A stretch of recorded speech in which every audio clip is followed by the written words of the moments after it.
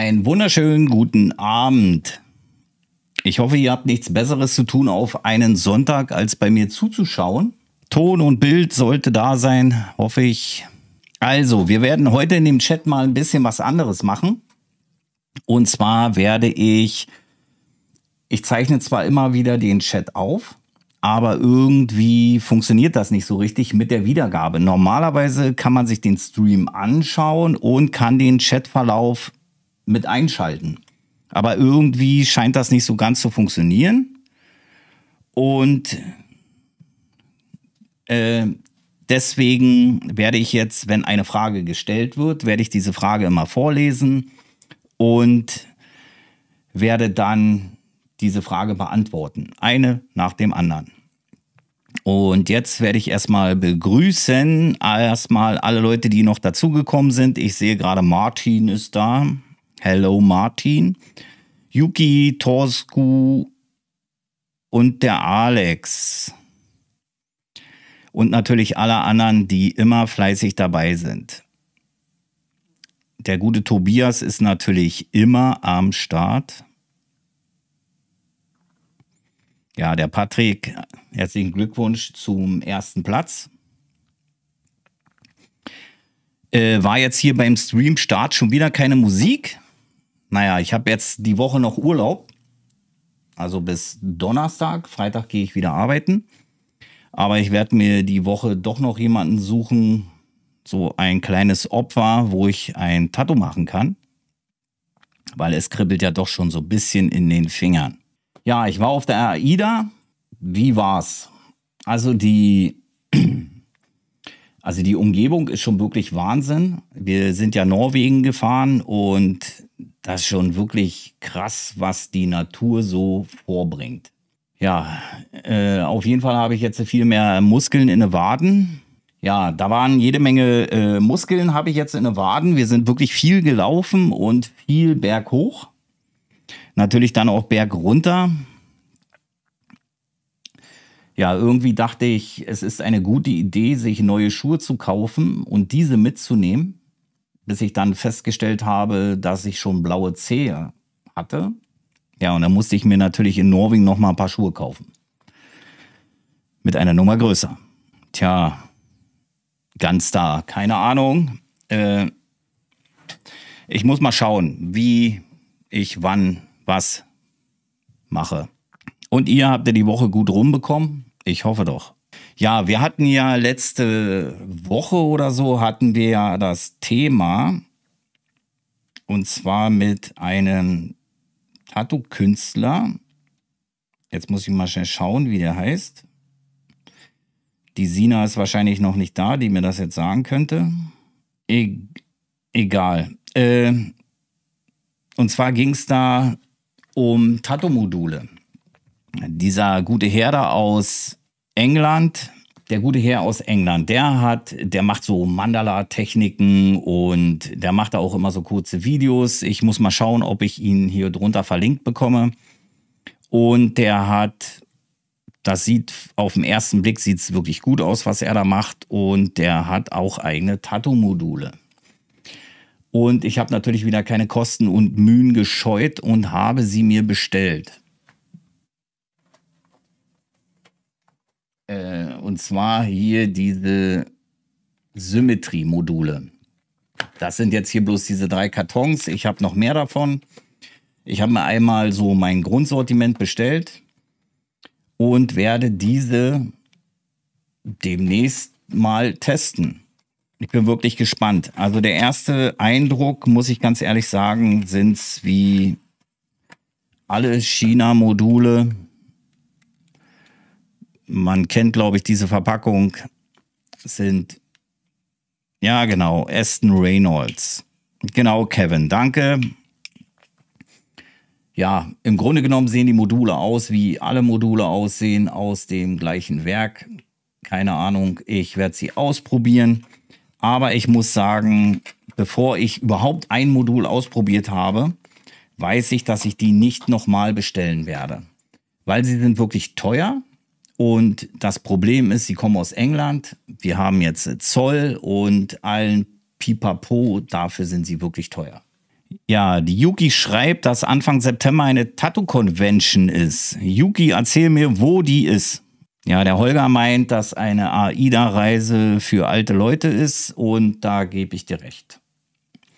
Also das Bühnenprogramm, was sie da so hatten, ist wirklich auf alte Leute angelegt und die hatten da eine Bilderversteigerung und ihr glaubt nicht, für was die Leute Geld ausgeben. Und da war ein Dagobert Duck-Bild, das wollte ich gerne haben. Ich fand es mega cool. Ich habe es sogar fotografiert, obwohl dran stand, darf ich nicht. Aber das Schild, dass ich das nicht darf, habe ich zu spät gelesen. Und ich zeige euch das mal kurz. Mal gucken, ob man das sehen kann.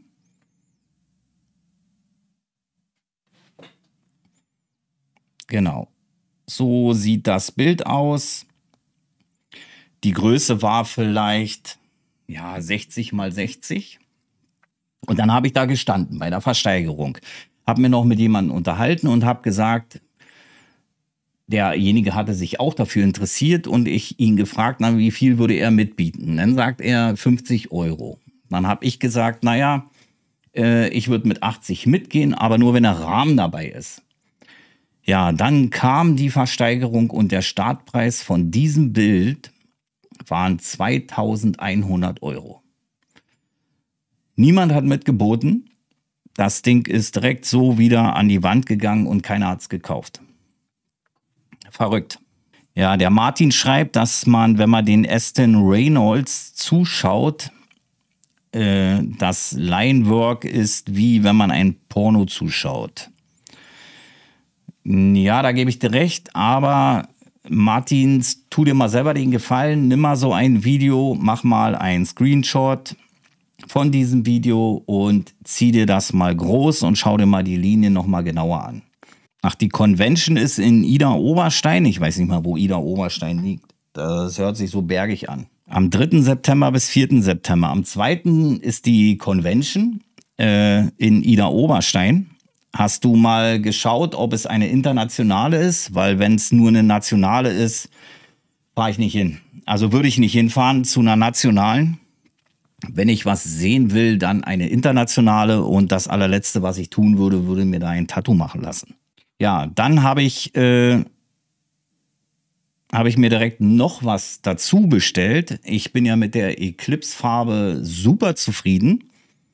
Aber ich habe mir jetzt einfach nochmal eine andere Farbe dazu bestellt, um sie einfach mal zu testen. Und zwar das Ganga Black von Dynamic. Ich will einfach mal ausprobieren. Ich will mal schauen, ob es so ist wie das alte Dynamic. Und ich werde euch auf jeden Fall auf den Laufenden halten, was mit dieser Farbe so los ist. Aber sie scheint wirklich sehr dünnflüssig zu sein und das finde ich sehr gut. Saarland. Ja, dass ich in, in Saarland bei der Bundeswehr war, habe ich wahrscheinlich schon erzählt, oder? In Lebach war ich stationiert. Aber das ist auch schon Ewigkeiten her. Ja, ich habe gedacht, wir machen heute einfach mal eine Vorlage. Eine äh, wir spielen das einfach mal so durch. Ich dachte mir, ähm, so wie wenn der Kunde zu mir im Laden kommt, der sagt mir, ja, ich hätte gerne das, das und das. Und ich habe auch schon geschaut, wir haben ein, also ich habe ein paar Bilder von Körperstellen, wo das Tattoo dann rauf, sein, rauf soll. Und dann schauen wir, ähm, welche, also der Kunde sagt mir dann im Prinzip, was er gerne haben möchte und wohin er es haben möchte. Und dann machen wir hier eine Vorlage zusammen. Und zwar, ihr werdet mir sagen, einfach mal ein paar Ideen könnt ihr schon reinschreiben, äh, um was es gehen soll. Äh, das Triple Black, falls du, also äh, Sayurika meint, die Dynamic-Farbe interessiert dir und das Triple Black ist super, nur leider nicht zugelassen. Äh, falls, Rika, falls du das Triple Black vom Pantera meinst, das ist zugelassen und zwar haben die ein neues rausgebracht. Du bekommst die gesamten Pantera-Farben inklusive die beiden Stufen, Stufen von dem Ralf Nonnweiler bekommst du jetzt auch auf äh, Reach-Basis. Ich suche sie raus und den Link werde ich mit unter dem Stream packen. Ich werde diesmal den Stream auch anders machen. Ich werde ihn nicht gleich anschließend online stellen, sondern ich werde ihn zusammenschneiden und einfach ein bisschen bearbeiten und dann wird er Dienstag online gehen. Ja, ansonsten, ich glaube, mir gefällt das ganz gut mit dem Stream auf dem Sonntag. Ich glaube, das werden wir beibehalten. Man muss es ja nicht so ewig in die Länge ziehen, wenn es halt nicht viel zu erzählen gibt, dann kann man das ja auch ein bisschen kürzer machen. Aber wenn man dann doch donnerstags lange gearbeitet hat und dann noch den Stream machen, das ist doch schon ein bisschen anstrengend. Ach so, von Dynamic Triple Black kenne ich gar nicht, habe ich noch nie gehört. Ich kenne nur das alte Dynamic, aber keine Neuerscheinung oder so kenne ich nicht. Ich wollte jetzt einfach nur mal diese Ganga ausprobieren. Ich glaube, ich habe es auch nur gekauft, weil da stand nur zwei Flaschen verfügbar. Ja, mit den Videos wird es dann jetzt auch anders, weil ich brauche ja, es wäre ja nicht gut, wenn ich sonntags, ich habe jetzt immer sonntags um 18 Uhr ein Video hochgeladen. Und wenn wir jetzt aber sonntags 18.30 Uhr den Livestream machen und Sonntag 18 Uhr das Video, fände ich ein bisschen blöd. Und deswegen werde ich jetzt in Zukunft äh, dienstags ein Video machen. Es wird jetzt jeden Dienstag wird's ein Erklärvideo geben. Wenn es Videos zu machen gibt über irgendwelche Produkte oder so weiter, die werden jetzt immer donnerstags kommen. Also es kann sein, dass donnerstags mal kein Video kommt, weil ich dann halt einfach nichts zu erzählen habe. Aber ich will versuchen, dass jetzt wirklich immer regelmäßig dienstags kommt ein Erklärbär-Video und sonntags machen wir den Livestream und donnerstags eventuell. Ich habe ja jetzt noch die Magero, das Video. Das werde ich noch erklären. Ja, keine Ahnung. Und noch solche Sachen halt. Ja, dann haut mal was raus hier. Was für Motive. Oder ich schau mal, ich versuche euch mal ein bisschen zu helfen, da das ja hier doch ein bisschen schleppend geht. So, ich gebe euch jetzt äh, zwei Körperstellen vor und ihr entscheidet, was wir da machen. Äh, ja, zwei Ideen sind schon gekommen. Der Patrick schreibt diese Aufnäher-Tattoos und Rika Frankenstein und Braut. Naja, also ich würde ja mal so sagen, dass wir vielleicht Motive nutzen, die, äh, die auch, die euch auch weiterbringen. Und äh, Frankenstein auf Tattoos oder ja, oder Aufnäher-Tattoos, das sind ja nun tatsächlich ein paar spezielle Sachen. Und ich denke, euch würde vielleicht ein bisschen weiterbringen, wenn man das Standardmotive macht, äh, keine Ahnung, irgendwas, was auch wirklich gefragt ist. Weil damit äh, hilft man euch, glaube ich, besser weiter.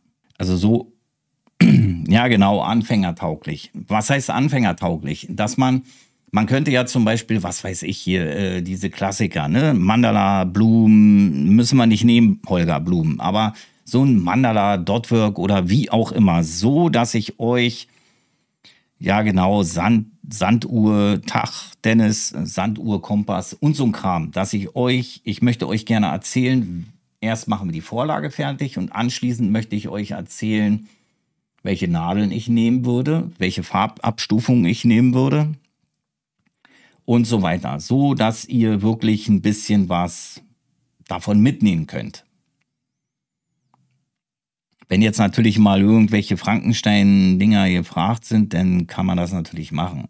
Ich will euch halt einfach nur zeigen, wie ich vorgehe, wenn, wenn der Kunde bei euch im Laden steht. Weil ich mache es so, mich interessiert überhaupt gar nicht, was der Kunde haben möchte. Ich frage ihn maximal einen Tag, bevor der Termin ist, schreibe ich schnell eine WhatsApp. Äh, kannst du mir sagen, in welche Richtung wir gehen? Und dann wird es mir geschrieben. Und dann, wenn der Tag da ist, dann mache ich mit dem Kunden zusammen die Vorlage. So. Also, wir könnten uns, ich hätte jetzt hier zum Beispiel ein Unterarm, da könnten wir irgendwas machen. Nein, Rika. Also Rika meint, ist das nicht knapp bemessen? So eine Vorlage, Vorlage kann doch dauern.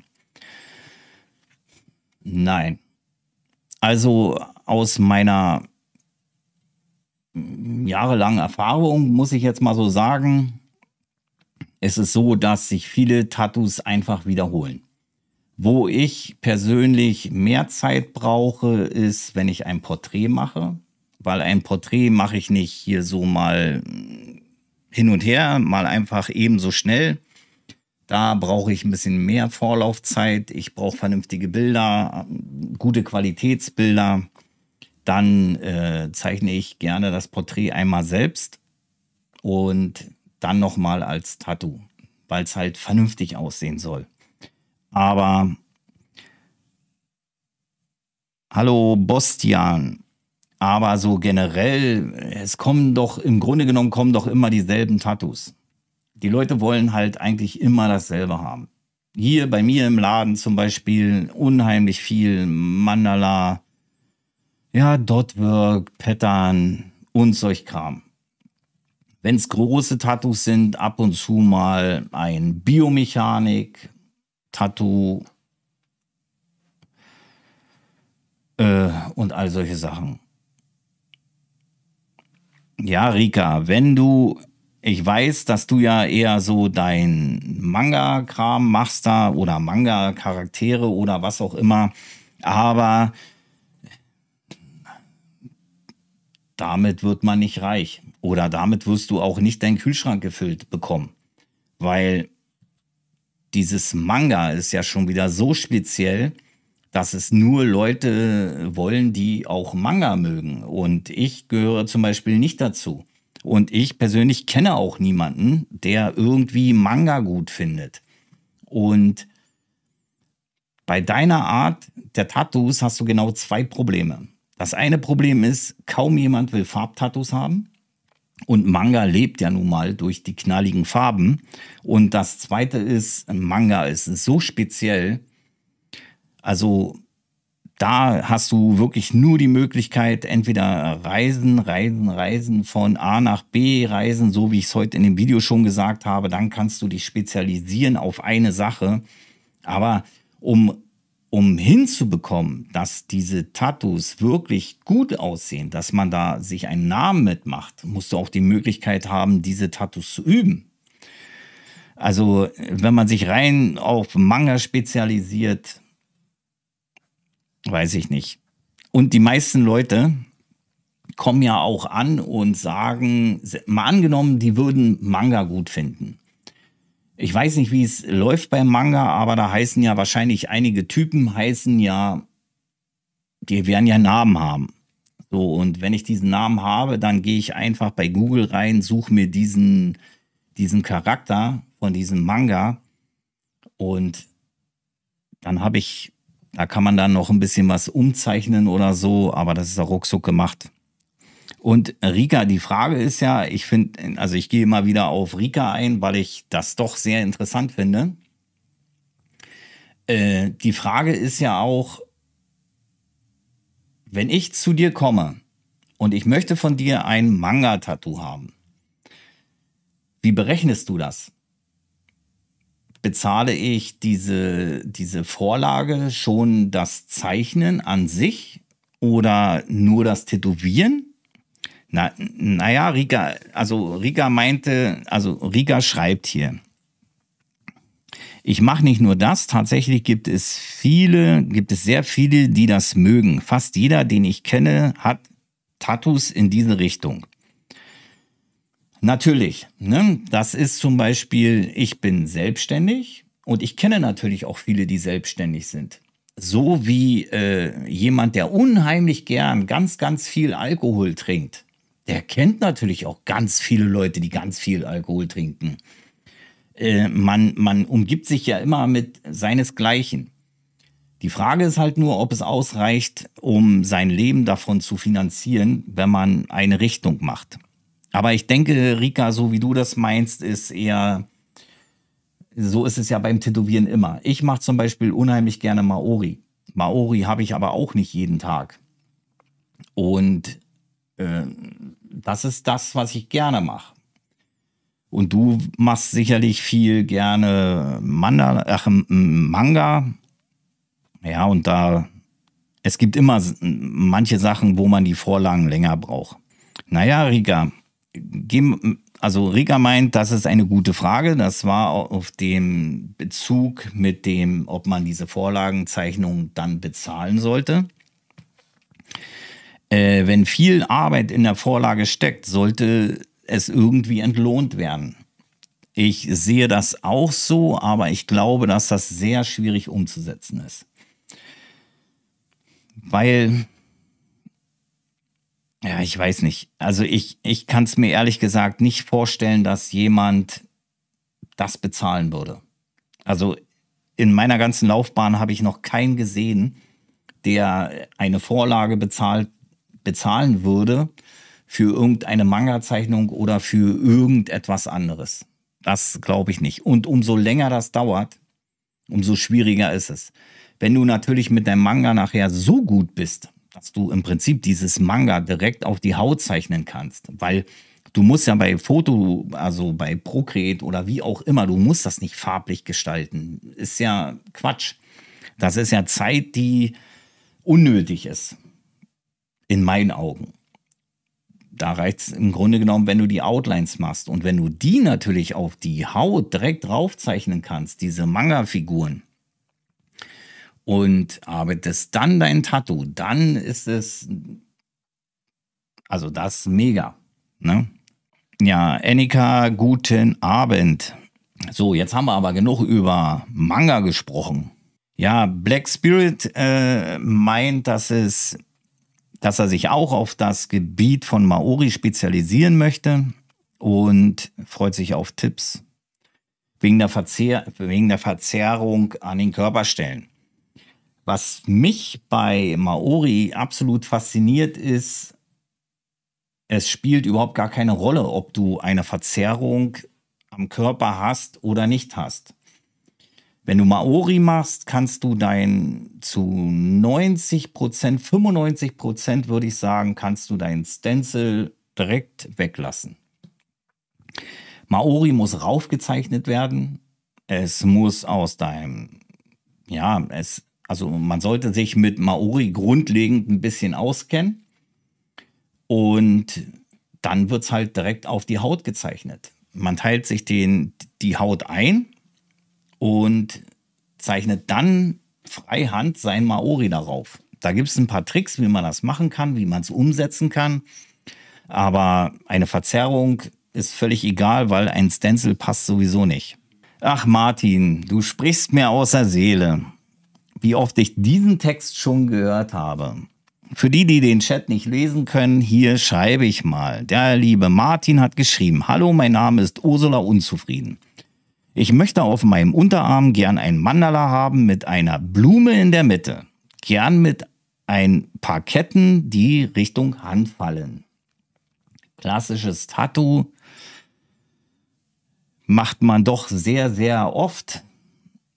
Und ja, es ist wirklich schon ausgelutscht. Ich glaube, dieses Mandala-Blume-Kette auf der Hand, das ist, glaube ich, das Arschgeweih 2030. Ja, die, die Rika schreibt, äh, dass es logisch wäre, ganz normal alles zu machen. aber zu bewerben, was man gerne macht. Im besten Fall kommen die Kunden dafür. Ansonsten halt nicht. Sie würde sich nicht auf nur eine Sache binden. Das kannst du auch nicht machen, weil du dann pleite gehen wirst. Und wie will man denn eine Sache bewerben, die man gerne macht, aber wo man nicht weiß, ob man es überhaupt hinbekommt? Das ist ja auch noch mal so eine Frage. Und ich hatte ja auch ein paar Vorlagen von dir gesehen und dieses Farbspiel da drinne. Es ist als Procreate-Zeichnung toll, aber dieses Umsetzen, dass das auch wirklich gut funktioniert, ist doch sehr, sehr schwierig. Also ich empfinde es als schwierig. Vielleicht läuft es bei dir komplett so von der Hand und dann wird es gut. Aber ja, ich wünsche dir auf jeden Fall, ich drücke dir die Daumen, dass das alles so funktioniert, wie du dir das denkst. Und vielleicht wohnst du ja wirklich in so einer Traube, in seiner, so einer Manga-Traube, dass du ganz groß damit rauskommst. Ich wünsche dir, dass das klappt. Und nun war ich schon wieder bei Manga.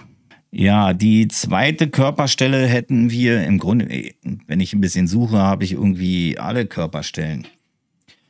Und zwar zweite Körperregion hätten wir vielleicht noch eine Wade von hinten. Also was ich aus dem Spreewald kenne, sind die Gurken. Zu einem 16. Cherokee-Indianer. Dann legen wir uns jetzt auf jeden Fall schon mal fest, dass wir den Oberarm hier machen. Also äh, den, naja, hier, Arm. Jetzt müssen wir uns nur noch festlegen, was wir da machen. Hier ist doch schon mal was Interessantes. Äh, er hätte gern, der Gun, Gunstar schreibt, er hätte gern einen Läufer, Marathon. Wahrscheinlich soll da noch die Uhrzeit vier Minuten, nee, Quatsch, vier Stunden und drei Minuten oder vier Minuten und drei Sekunden, keine Ahnung. Und den Fernsehturm von Berlin. Das hört sich doch schon mal gut an. Bristan Knopper, äh, ja, das kannst du, kannst du gerne tun. Die E-Mail-Adresse, die, die kannst du, äh, die steht nachher unterm, jetzt ist mein Chat weg, ist ja verrückt. Äh, die steht nachher unten drin und die kannst du, da kannst du das hinschreiben an, äh, na, wie heißt es hier? Ink Area Friends, da wo auch die Tattoo-Bilder hingeschickt werden, da kannst du gerne dein Anliegen hinschicken und dann kann ich mir das angucken. Kein Problem. Ein Wolf auf dem Unterarm ist auch eine gute Idee. Ach so, auf die Wade. Ja, das, äh, das mit dem Läufer und dem Fernsehturm sollte auf die Wade. Ja, da wird es ja auch, glaube ich, am besten hinpassen. Aber im Grunde genommen spielt es überhaupt keine Rolle, ob wir das nun auf der Wade machen oder hier machen. Am Ende, Im Endeffekt kannst es sowieso dahin setzen, wo man es braucht. Ich würde sagen, bis 19.20 Uhr hören wir uns hier noch, da haben wir noch 10 Minuten, da hören wir uns jetzt noch ein paar Ideen an und dann werden wir einfach mal anfangen, wie wir diese Vorlage machen. Eine Katze. Katzen, ja. Na, keiner mehr Ideen? So, bis jetzt haben wir einen, diesen, diesen Läufer, Marathon. Wo liegt eigentlich der Unterschied zwischen einem Läufer und einem Marathon? Also kann man Marathon überhaupt bildlich darstellen? Also ich bin jetzt nicht so der Läufer, habe da kein, keine Ahnung von. Aber das kann man sich ja dann einfach mal anschauen. Ach so, das Wort Marathon. Ach so. So, dann haben wir hier noch auf der Wade ein Wikinger-Kompass mit zwei Raben. Hier wäre noch eine Zündkerze, ein U-Boot, was gerade aus dem Wasser auftaucht. Das ist ja, glaube ich, was ganz Einfaches. Jetzt habe ich hier gerade mal geschaut nach einem, nach einem U-Boot, was gerade aus dem Wasser auftaucht, würde ich tatsächlich so nicht tätowieren. Und ich zeige dir warum.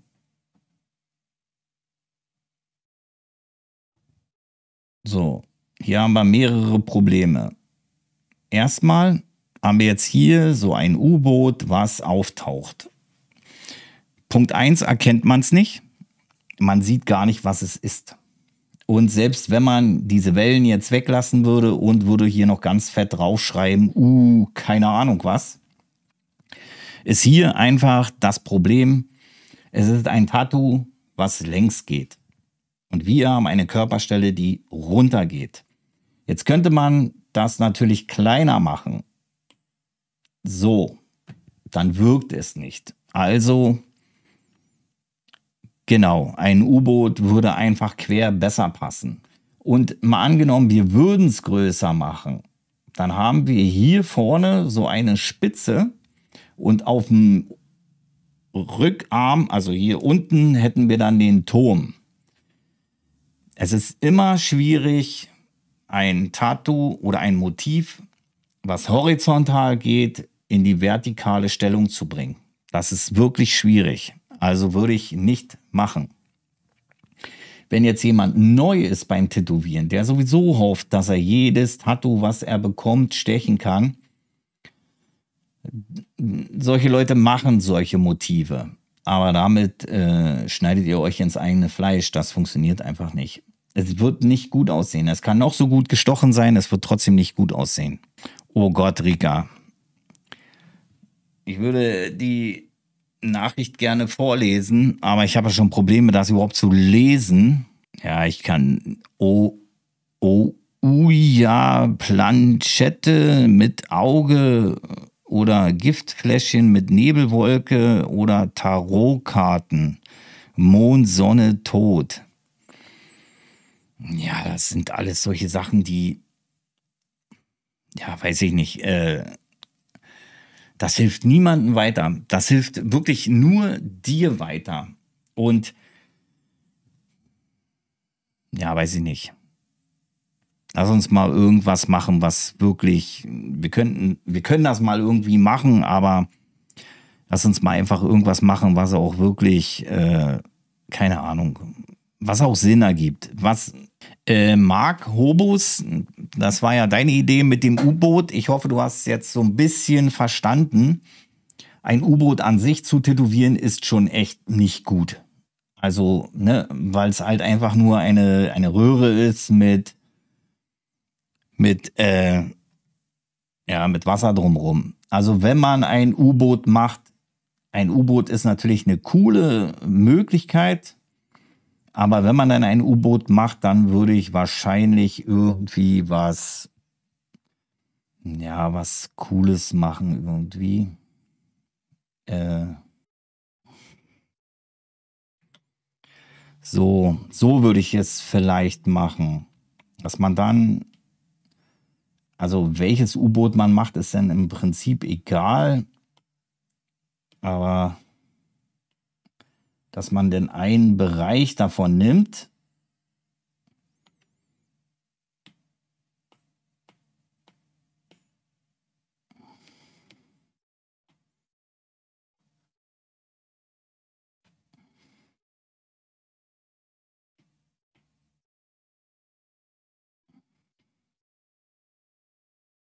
dass man das dann integriert oder so. Im Grunde genommen auch blöd.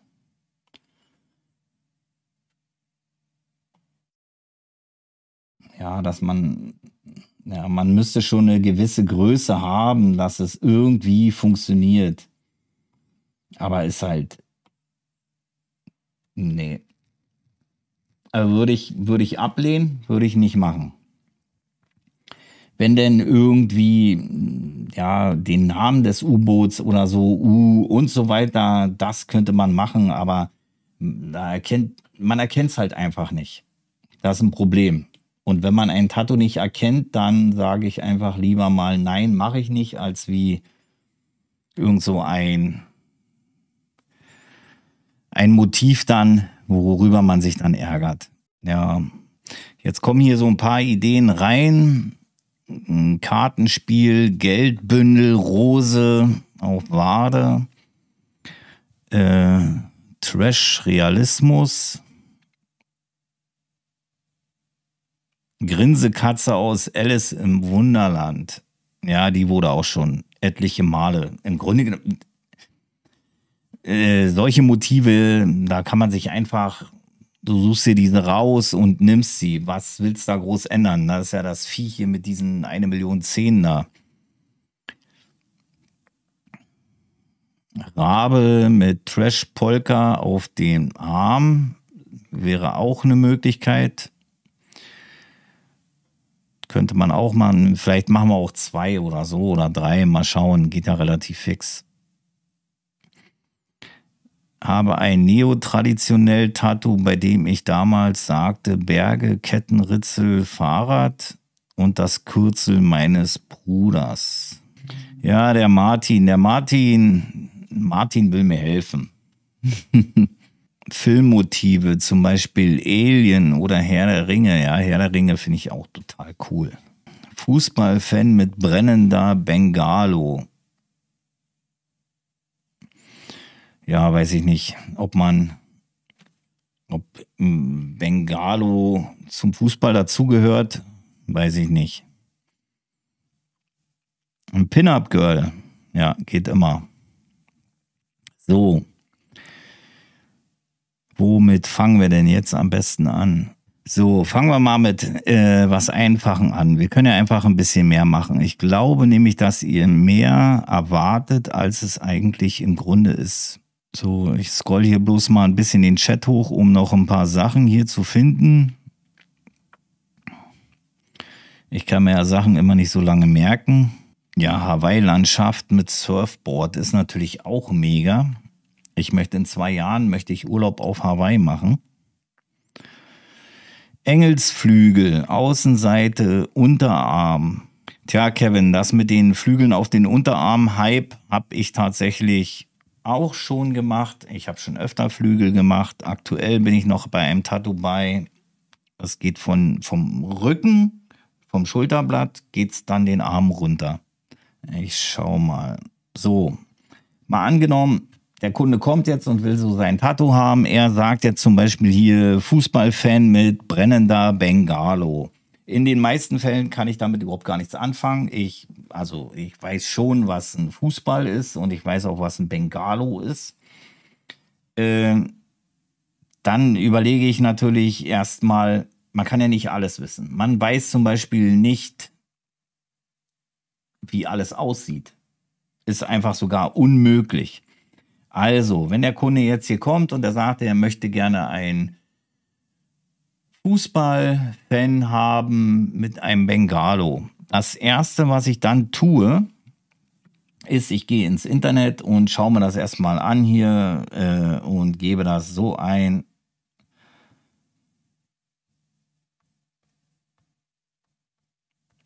wie ich das jetzt hier mal so sehe. Und dann schaue ich mir erstmal Bilder an, damit ich überhaupt erstmal sehe, wie läuft das ab. Jetzt sehe ich natürlich schon eine Sache, die finde ich ganz cool. Das ist das hier, das sieht schon mal ganz cool aus.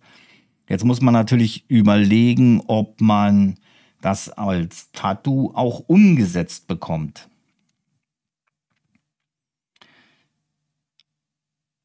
So.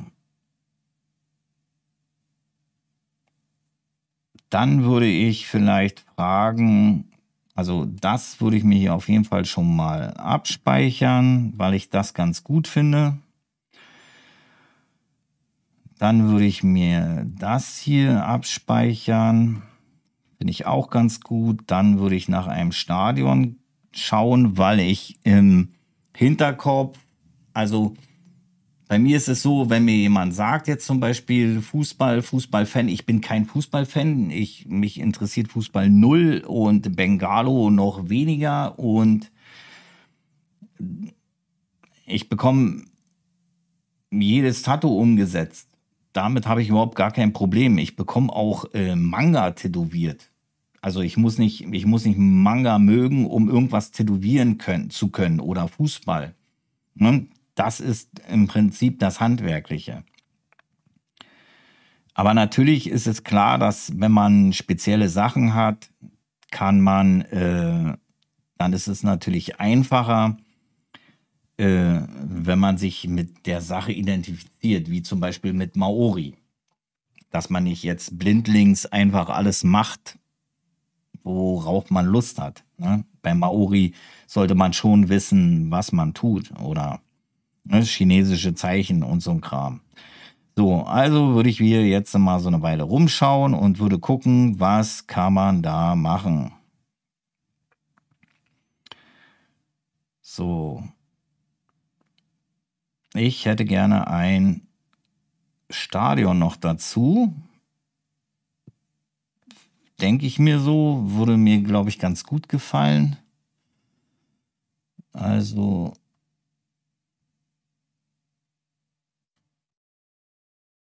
Jetzt würde ich den Kunden fragen, äh, für welchen Fußballverein? Welcher Fußballverein ihm dazu sagt. Jetzt könnte man natürlich überlegen, wenn man jetzt hört, äh, Bengalo und Fußball, ne, da ist ja, keine Ahnung, hier Hansa Rostock nicht weit entfernt. Denke ich. Also könnte man jetzt zum Beispiel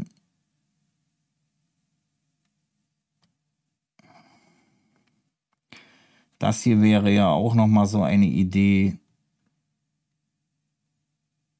So, jetzt würde ich mir dann würde ich dann anfangen, keine Ahnung, erstmal würde ich mir hier so ein Stückchen Stadion rausnehmen. Es geht ja in den meisten Fällen geht es ja wirklich darum, den Arm zuzubekommen. So, diesen Bereich würde ich jetzt wahrscheinlich nehmen.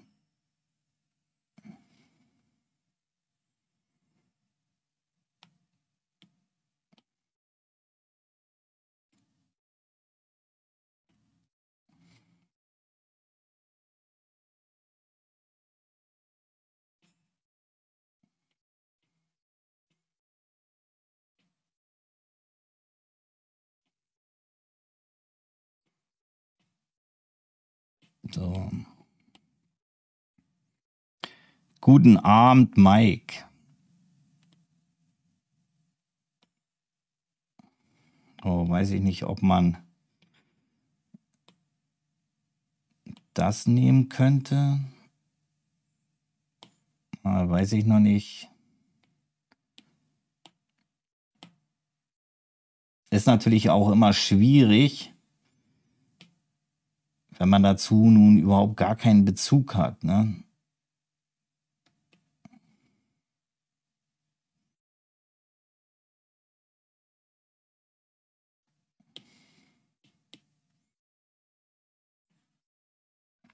Und auch als Tattoo Qualm zu machen, ist wirklich schwer. Also man kann nicht einfach äh, Qualm nehmen und äh, also wenn man das jetzt hier so als Motiv macht, mein Licht hier drüber, das blendet mir jetzt ein bisschen. Deswegen kann ich hier echt ein bisschen schlecht sehen.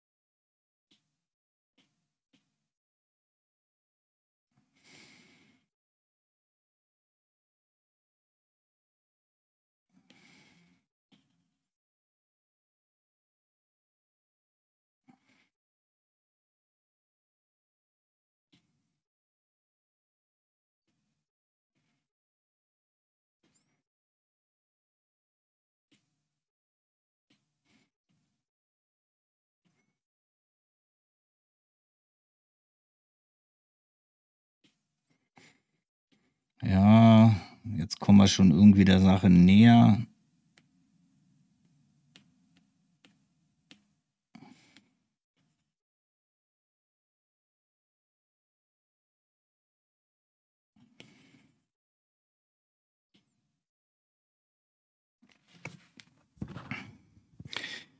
Guten Abend, Sascha.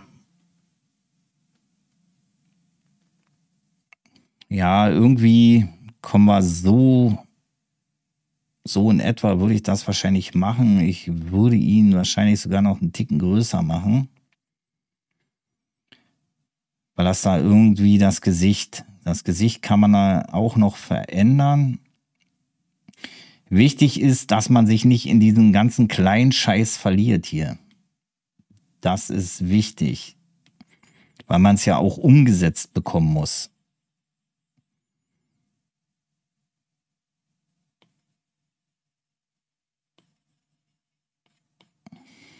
Ja, irgendwie. So zum Beispiel. Dann kann man ja zur Not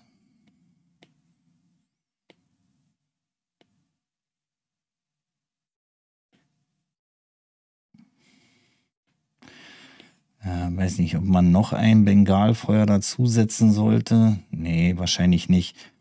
Und jetzt würde ich wahrscheinlich noch schauen. Hm, mal angenommen, wir nehmen jetzt hier mal einfach Hansa Rostock. Hansa.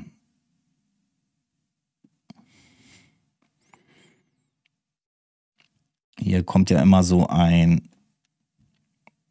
diese Kogge, die kommt immer gut.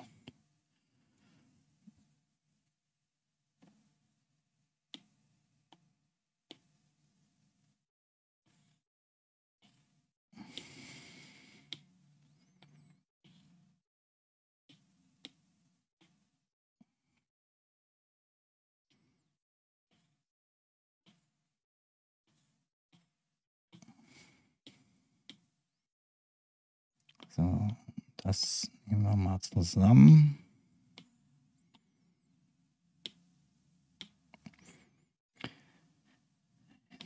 Jetzt muss ich mir das natürlich hier alles alleine ausdenken. Du hast ja im Normalfall hast du ja den Kunden bei, der dir dann nochmal erzählt, was er überhaupt haben will, ne? So, dann das Hansa-Logo kann da auch mit rein.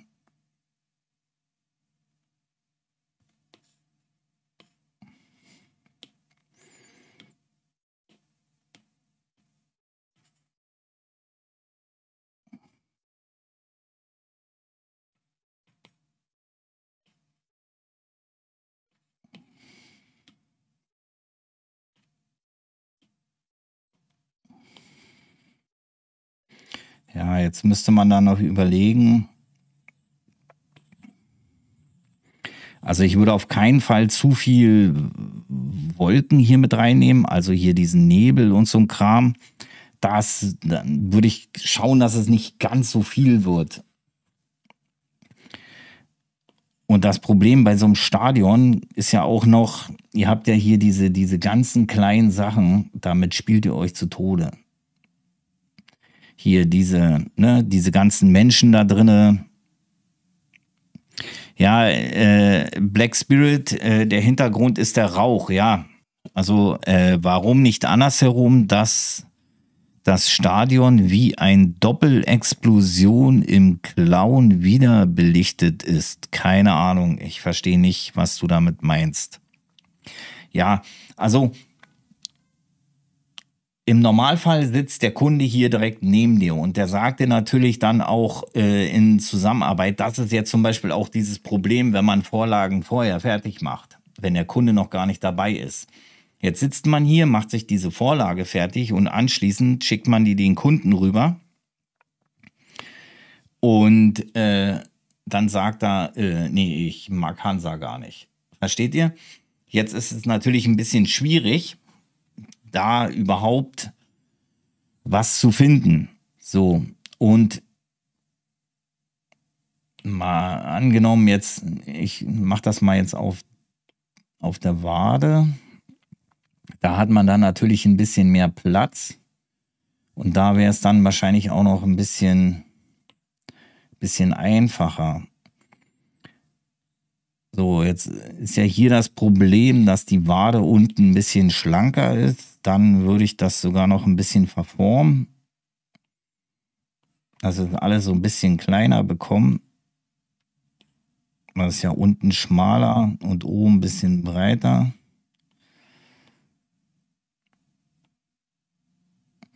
Ja, ich würde gucken, dass ich das hier irgendwie reinbekomme.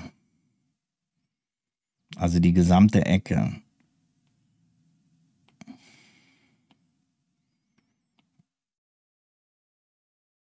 Weil die Ecke, die erinnert ja immer noch am meisten nach Fußball. Auf jeden Fall oben auch nochmal das Stadion aufnehmen. Das würde ich nochmal machen. Ist natürlich echt ein blödes Motiv jetzt hier. Hm.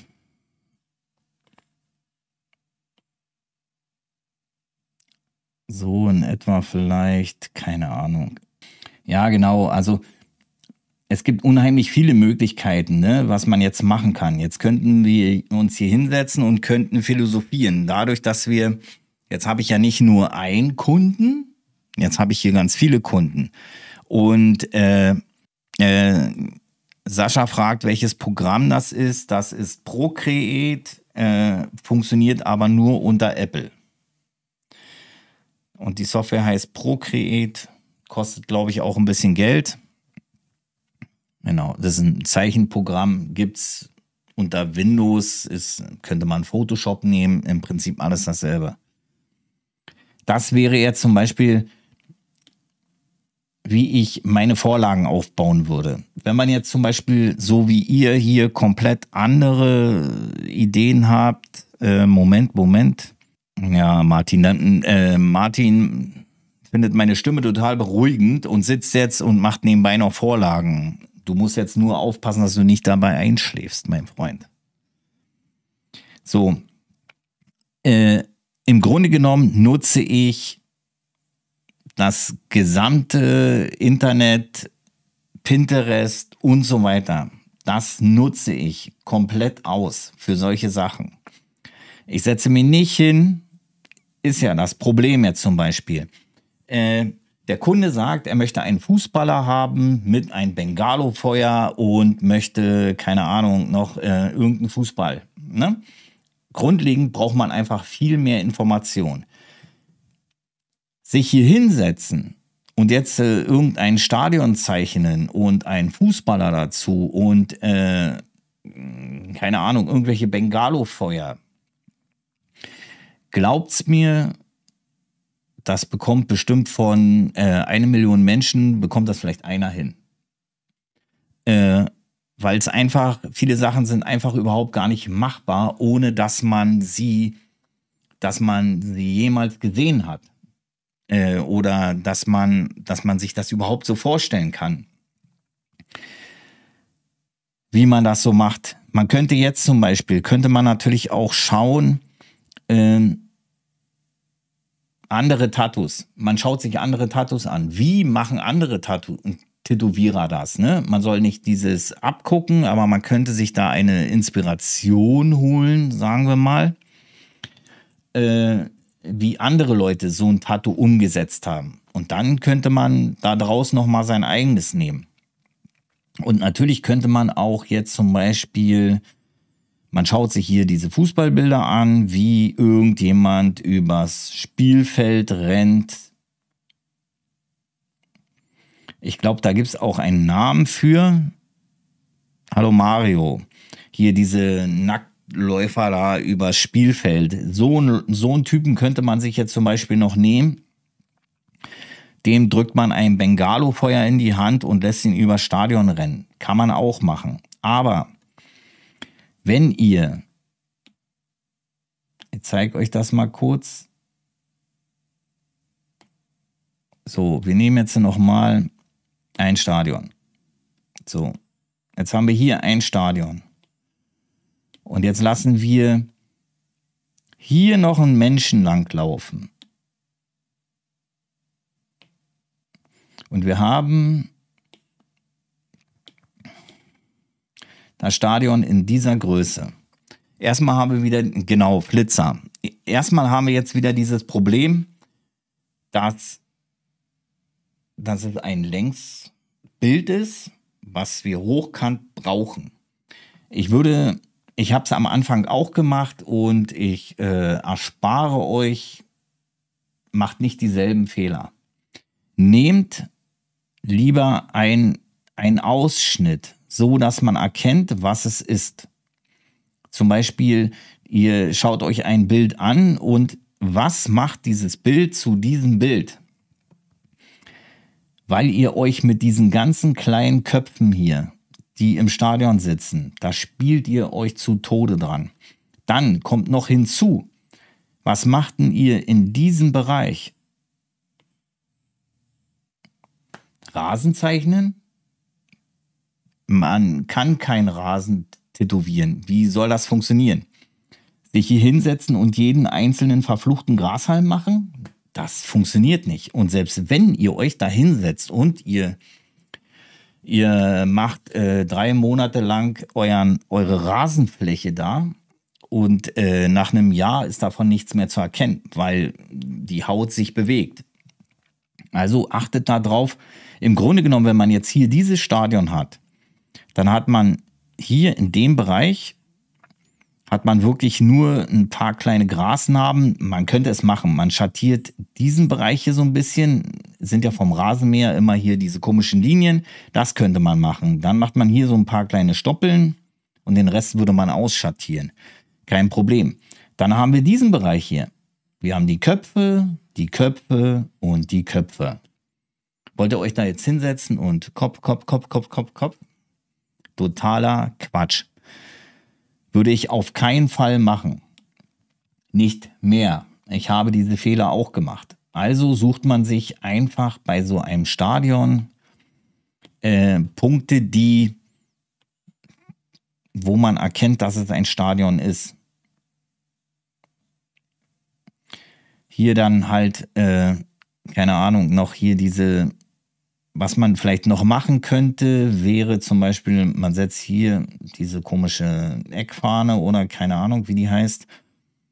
Dann könnte man vielleicht hier noch einen Ball hinsetzen oder irgendwas, was, äh, was das widerspiegelt.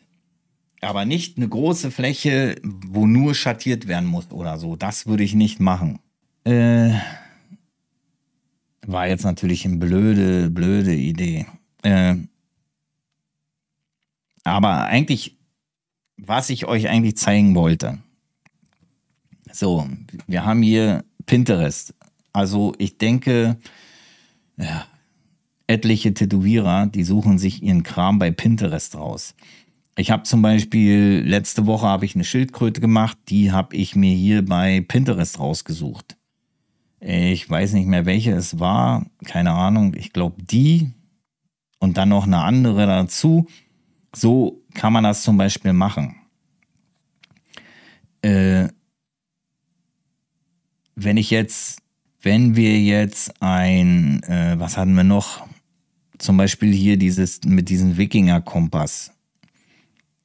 Wir müssen jetzt mal eine vernünftige Vorlage machen.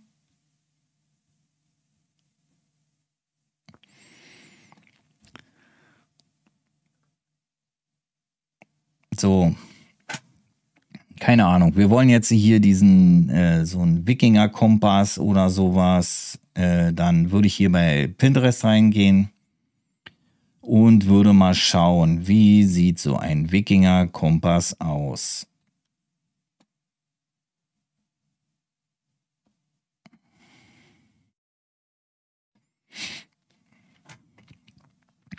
Und so machen das wirklich sehr, sehr viele Leute.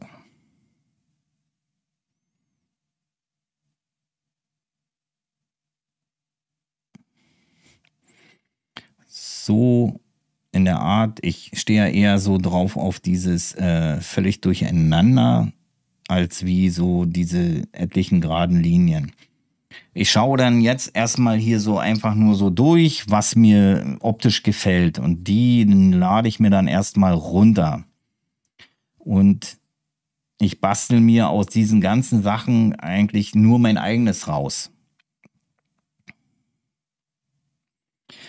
Wenn sich jetzt, wenn sich jetzt natürlich jemand sagt, äh, ja, das muss alles selber gezeichnet sein und keine Ahnung was. Äh, wenn jemand dieser Meinung ist, dann ist das überhaupt gar kein Problem.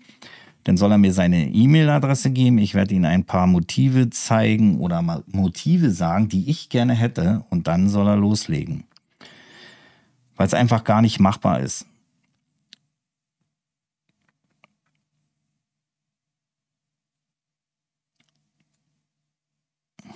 Naja, der Kompass, der gefällt mir schon ganz cool. Suchen wir uns jetzt mal hier noch ein paar Raben raus.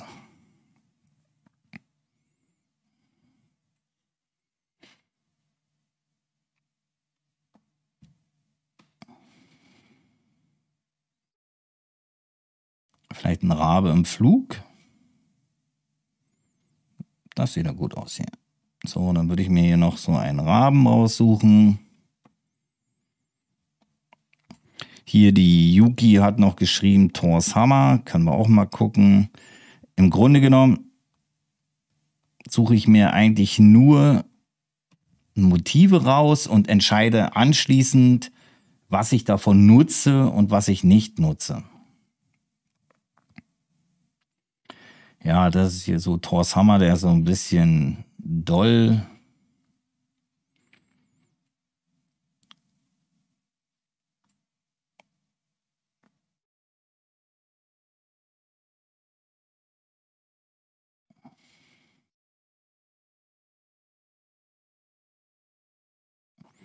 Das finde ich hier auch ganz cool.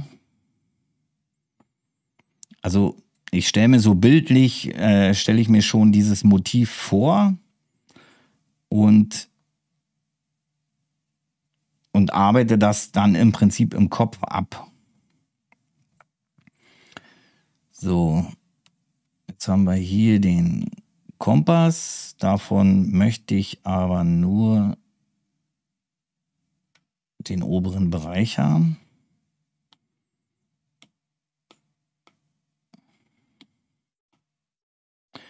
So.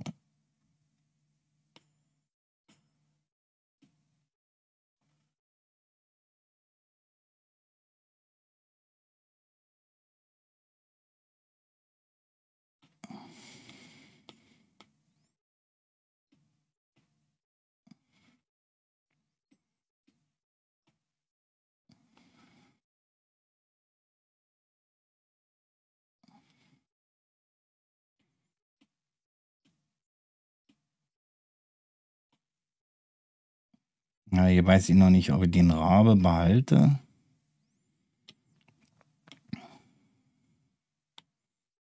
Nee, das nehmen wir mal auf die Wade. Schauen wir uns da mal an.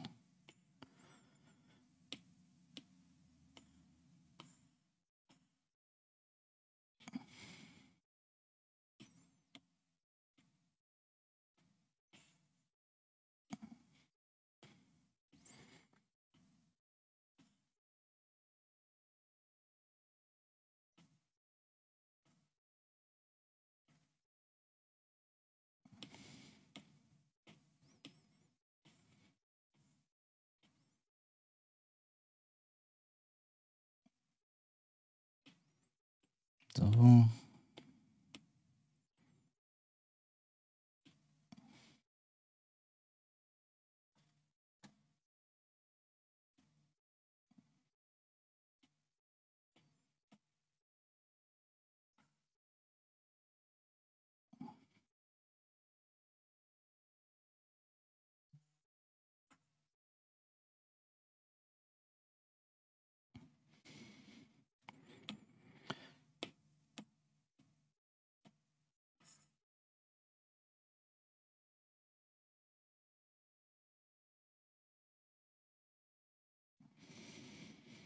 So in etwa.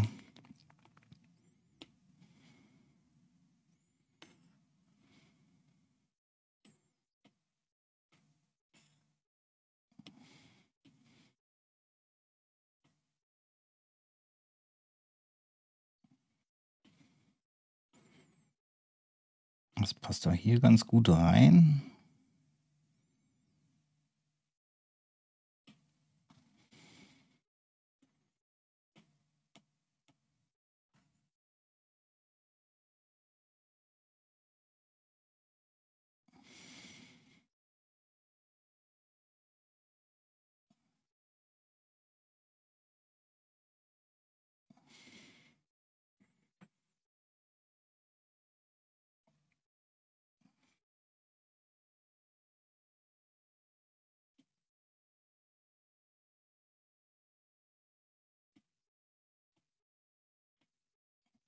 Ja, nun könnte man überlegen, ob man das als Hintergrund macht, aber das wird dann zu viel. Ja, das wird zu viel. Ja, so in etwa. Die Runen müssen gespiegelt werden. Ja, sehe ich auch gerade. Ist ja kein Problem.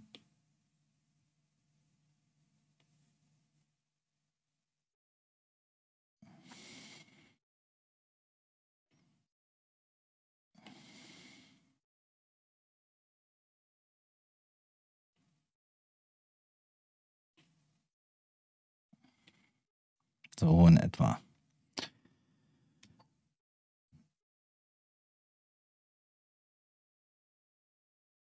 Den Hammer, den, also Christian Kreuzer fragt hier, wie ich den Hammer so schnell ausschneiden konnte.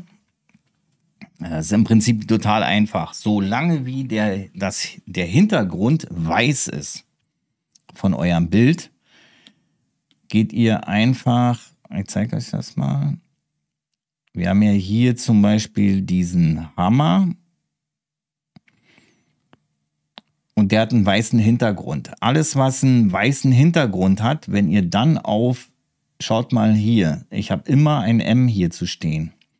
Ihr geht auf Multiplizieren. Ihr könnt es abdunkeln und so weiter. Hier ist es original mit weiß. So sieht das Bild normal aus. Und wenn ihr auf Multiplizieren geht, dann habt ihr automatisch, ist der weiße Hintergrund weg und ihr habt es verbunden sozusagen. Das Problem, was dann ist, ihr habt meistens diese Details sind nicht da. Aber die könnt ihr zum Beispiel mit Kurven nochmal nachbearbeiten. Ihr könnt hier ein bisschen heller gehen, damit die Details rauskommen. Und hier noch ein bisschen mit Kontrast rein. Das macht sich dann einfacher. So, dann nehme ich meistens das Bein nochmal raus. Jetzt ist das hier natürlich alles so ein bisschen Kauderwelsch, alles so ein bisschen durcheinander. Und wenn jetzt zum Beispiel der Kunde sagt, ja, so finde ich das cool,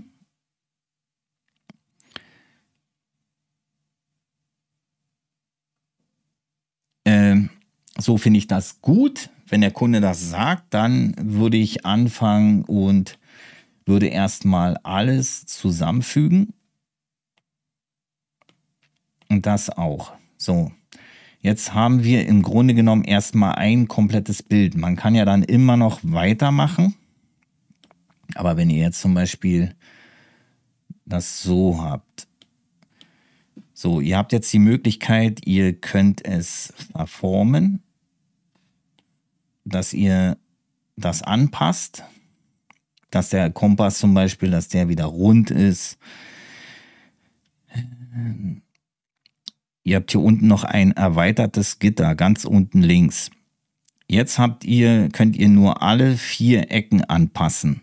Wenn ihr das erweiterte Gitter anfasst, dann könnt ihr, habt ihr wirklich bei jedem Schnittpunkt was zum Anfassen. So, jetzt könnte man das hier nochmal schön in rund ziehen, wie man das will. So, jetzt ist der Bereich hier unten mit dem Hammer. Der ist natürlich jetzt äh, alles ein bisschen äh, unsauber. Wir machen jetzt einfach mal mit diesem weiter. Äh, jetzt sagt der Kunde, mal angenommen, der Kunde würde jetzt sagen, ja, so ist es gut, so will ich es gerne haben. Jetzt würde ich mir als nächstes eine, also wir gucken uns das nochmal auf dem Bein an, dass wir das alles so passig hinbekommen.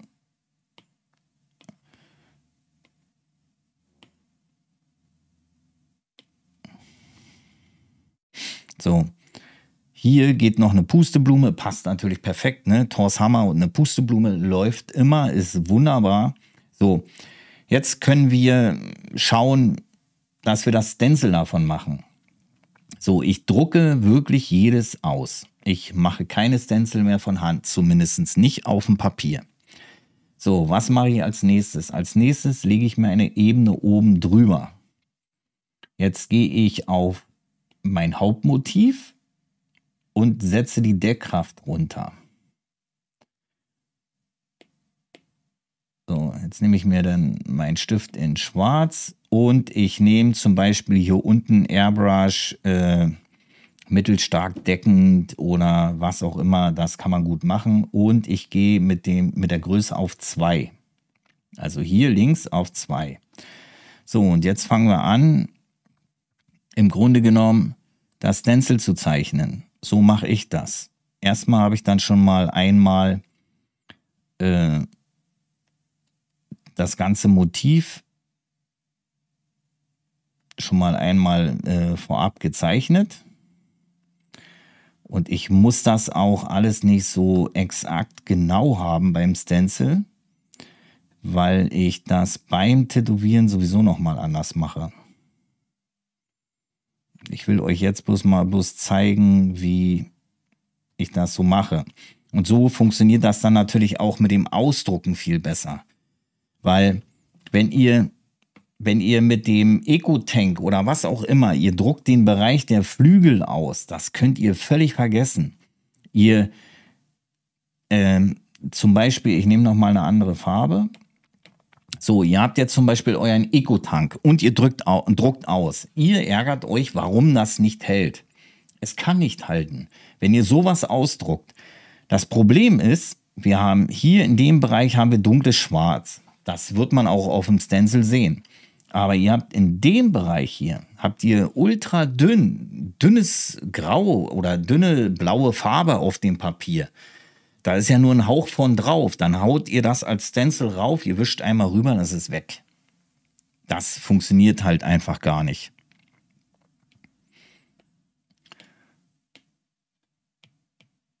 So, jetzt zeichne ich zum Beispiel hier mein, mein Stencil einfach so nach, so dass ich hier meine Außenlinien habe. Ich natürlich äh, viele Sachen, die verändere ich noch, aber die verändere ich direkt beim Tätowieren.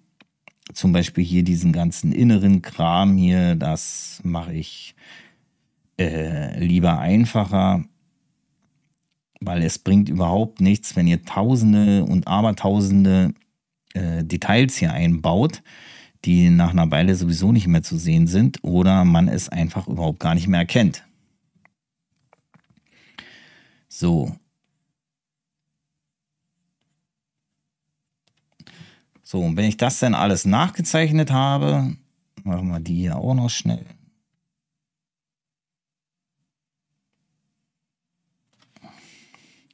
Zeige ich euch noch eben, wie ich hier die Flügel mache. Man kann vielleicht doch einen tiefer gehen.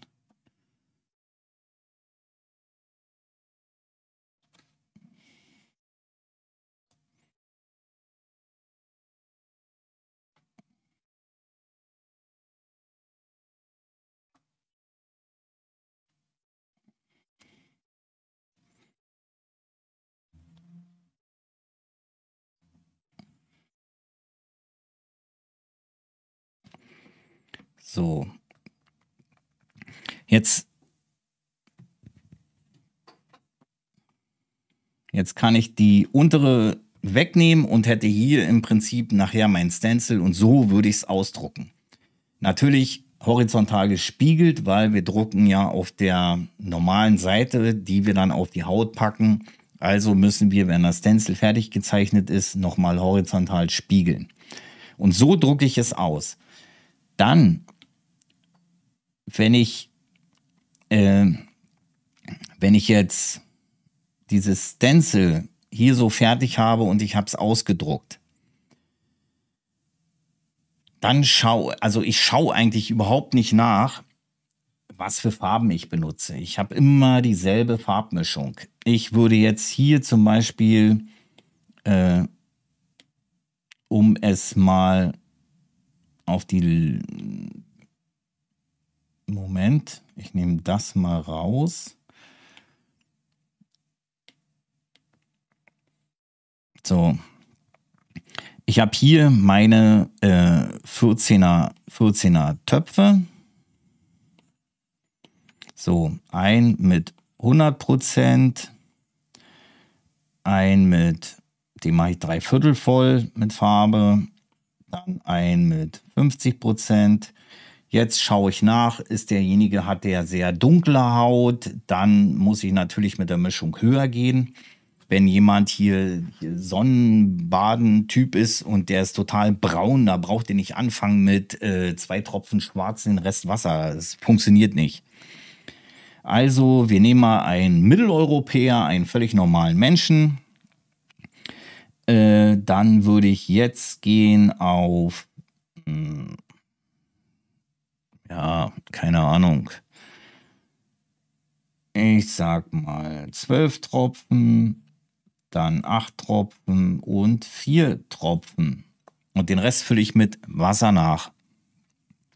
Martin, ich wünsche dir was. Ich schaue mir gleich noch hier den Chat an und werde noch ein paar Fragen beantworten.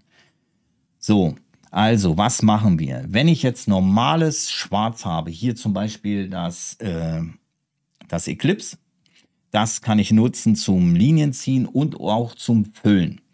Dann würde ich, ich fange immer meine Tattoos von unten an und arbeite sie hoch.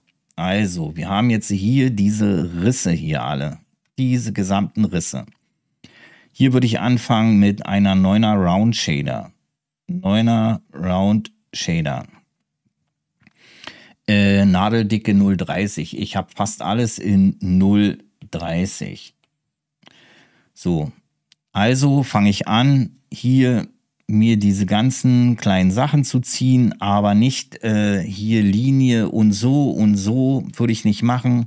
Ich würde wirklich hier zack einfach nur immer, ja, so ein bisschen hier, ein bisschen da und so weiter. Alles so immer ein bisschen hin und her.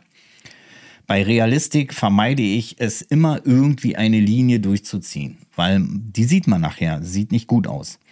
Also würde ich hier so ein bisschen rumschattieren und das würde ich auch direkt in 100% schwarz machen. Ich würde es auch nicht genauso machen, wie es hier ist. Ich würde zum Beispiel wir haben ja hier diesen Bereich hier, dann gehe ich hier nochmal raus und äh, gehe hier lang und hier. Ja, das macht sie mit Tattoo-Maschine echt einfacher. So, und mache mir dann meine eigenen Zacken. So verändere ich schon mal ein paar Sachen. Das würde ich alles komplett den unteren Bereich mit einer 9er Round Shader machen. So, dann kommen wir zum nächsten. Jetzt suche ich mir hier in dem Hammer zum Beispiel die dunkelsten Stellen aus. Äh, also sagen wir mal, wir gehen in den Bereich hier. So. Und den Bereich nehme ich gleich mit dazu. Hier würde ich jetzt zum Beispiel, muss man schauen, wie groß ist das Motiv. Ne? Wenn das Motiv, sagen wir mal, so groß ist, hier würde ich jetzt zum Beispiel mit einer 13er Soft Edge Magnum reingehen in diesem Bereich hier. Eine 13er Soft Age Magnum und würde mit dem Dreiviertel Farbton anfangen. Und hier mit dem 100er Farbton, ich hätte mal eine andere Farbe nehmen sollen. So, hier mit einer 13er Soft Age Magnum und würde direkt anfangen, hier das so rauszuschattieren. Der Hammer an sich ist nicht schön, es ist irgendwie ein hässlicher Hammer, aber es fällt mir jetzt erst so auf. Äh, und so würde ich das dann erstmal in schwarz machen, aber nicht den kompletten Bereich, sondern ich würde mit dem Schwarz nur, ja, so bis zu diesem Bereich bleiben. Hier und hier mit tiefschwarz raus, dass ihr genau diese Kante, dass die sich wirklich absetzt, weil da ist so eine Bruchkante, da wird es halt dunkler. Und das würde ich schwarz machen. Dann würde ich mit dem dunklen Schwarz, mit den 100% Schwarz, würde ich direkt diesen Bereich mit raus schattieren. Hier. Ich würde hier diesen ganzen Bereich dann schwarz machen, schattiere hier das Schwarz mit hoch gehe hier rüber, schattiere hier rein und gehe ganz leicht hier mit rein, dass ihr wirklich viel Kontrast hinbekommt ist wirklich schwer zu erklären hier. Äh, genau, so würde ich das dann machen. Ich würde hier nirgends eine Linie benutzen. Dann zum Beispiel, äh, ich würde den gesamten Hammer mit einer 9er Round Shader machen und einer 13er Soft Edge Magnum oder 15er, keine Ahnung, was man gerade so rumliegen hat. So, Oh, jetzt geht das schon wieder los hier. So, jetzt sehen wir natürlich hier diesen Hammerbereich hier. Der ist natürlich überhaupt nicht ausgeprägt. Und wie sollte man das dann überhaupt schattieren, damit das irgendwie halbwegs vernünftig aussieht? Da muss man sich halt selber ein bisschen was ausdenken. Und zwar, das einfach so zu tätowieren, würde völlig in die Hose gehen, weil es einfach nicht gut aussehen würde. Also fangen wir an. Wir haben hier eine, eine Kante. Habe ich nochmal eine neue? Ja, wir haben hier eine Kante. Also würde ich diese Kante nochmal neu machen. Die würde ich direkt so beim Stencil eigentlich schon machen. So, dass wir hier eine vernünftige Kante haben.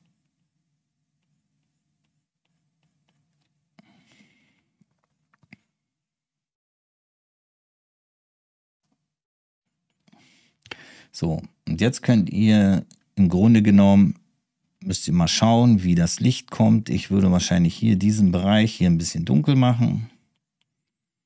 Und nach vorne hin wieder ein bisschen heller werden. So, und dann würde ich wahrscheinlich hier diesen Bereich auch ein bisschen rausschattieren und die eine Stelle einfach so ein bisschen hell lassen.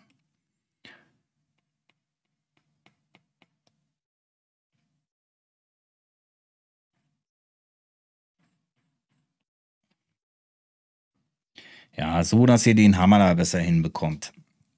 Und so arbeite ich mich komplett durch. Der Hammer ist natürlich jetzt ein bisschen äh, schwieriger, weil hier so ein Haufen Kram da drin ist. Das würde ich absolut minimal halten. Zum Beispiel diesen Bereich hier drinne. Da braucht ihr euch nicht kaputt spielen. Da könnt ihr wirklich mit einer ich würde hier diesen Bereich so ein bisschen hier rund, das würde ich mitnehmen und dann würde ich irgendwie schauen, dass ich das irgendwie mit einem anderen Motiv hinbekomme. So, und dann kann man hier noch ein bisschen mit Round Shader rein und dann wieder mit ein bisschen Weiß. Im Endeffekt ist es völlig egal, ihr braucht da auch nichts reinschreiben oder so. Das hält sowieso nicht lange. So, bei den Flügeln genau dasselbe.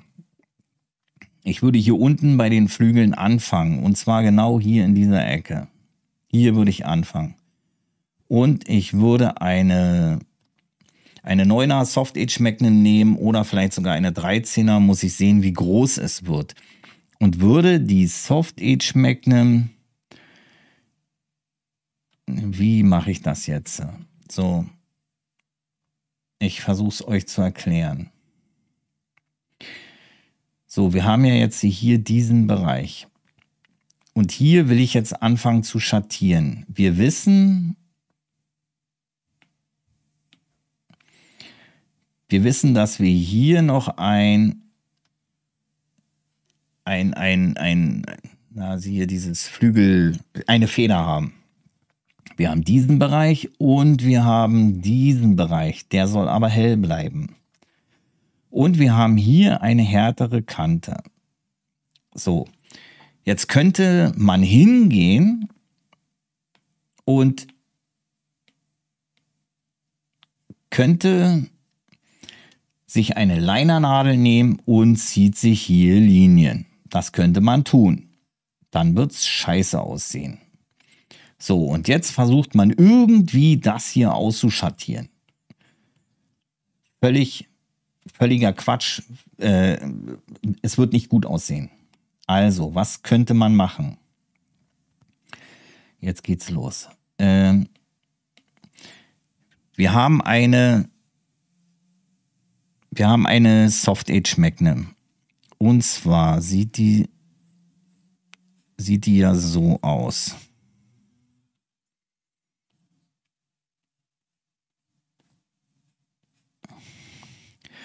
Und von der Seite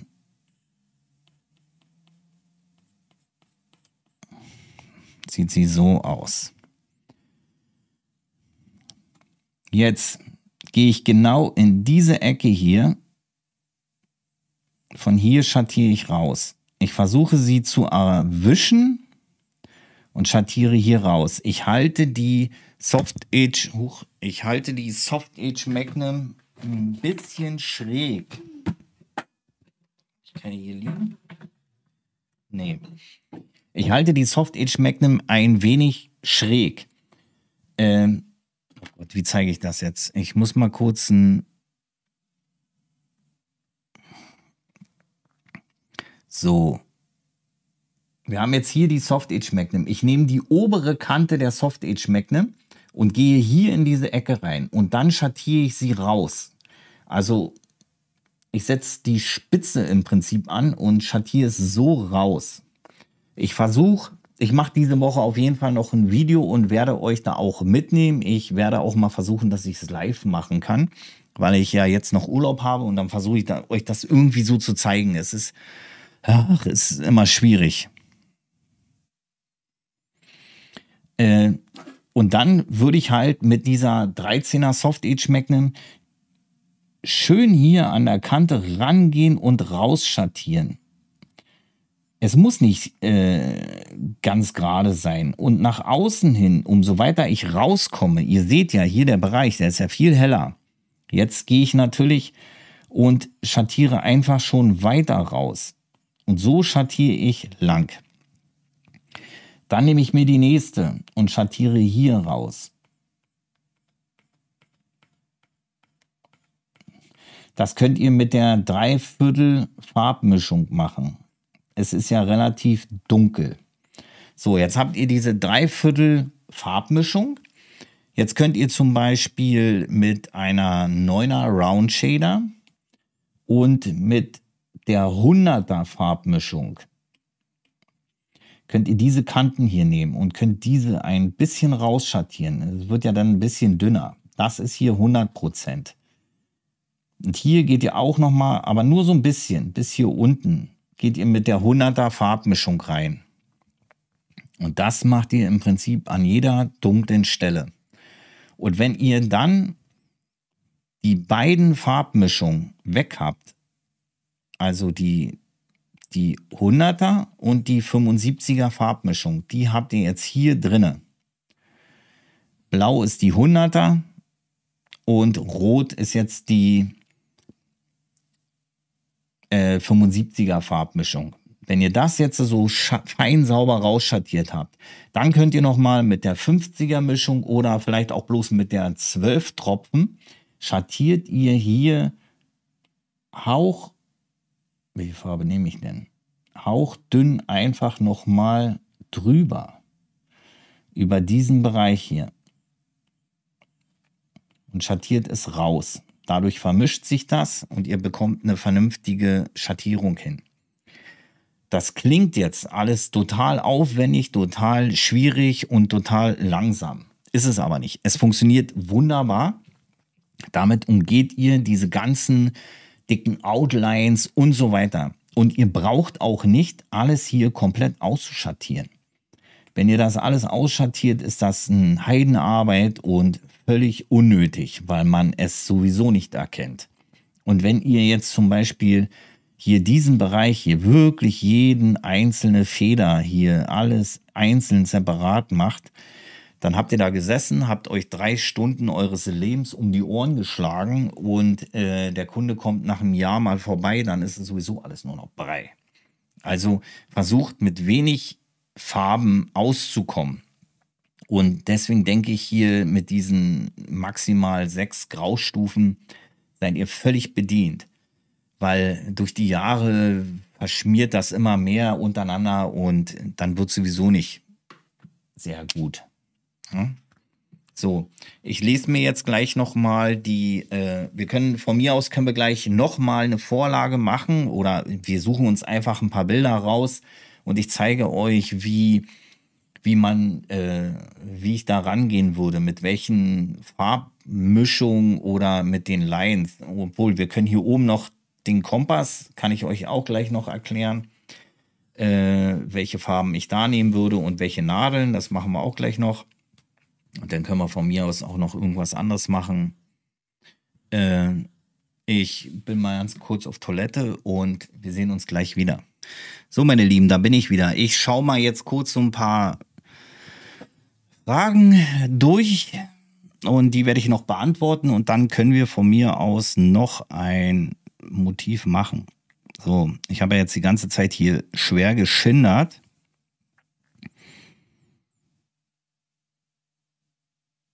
Andreas Pani fragt, ob ich noch mal zeigen kann, wie ich ein Stencil aus Procreate ziehe, ohne es zu zeichnen. Ja, das ist das Problem. Wenn wir jetzt hier zum Beispiel dieses Motiv haben,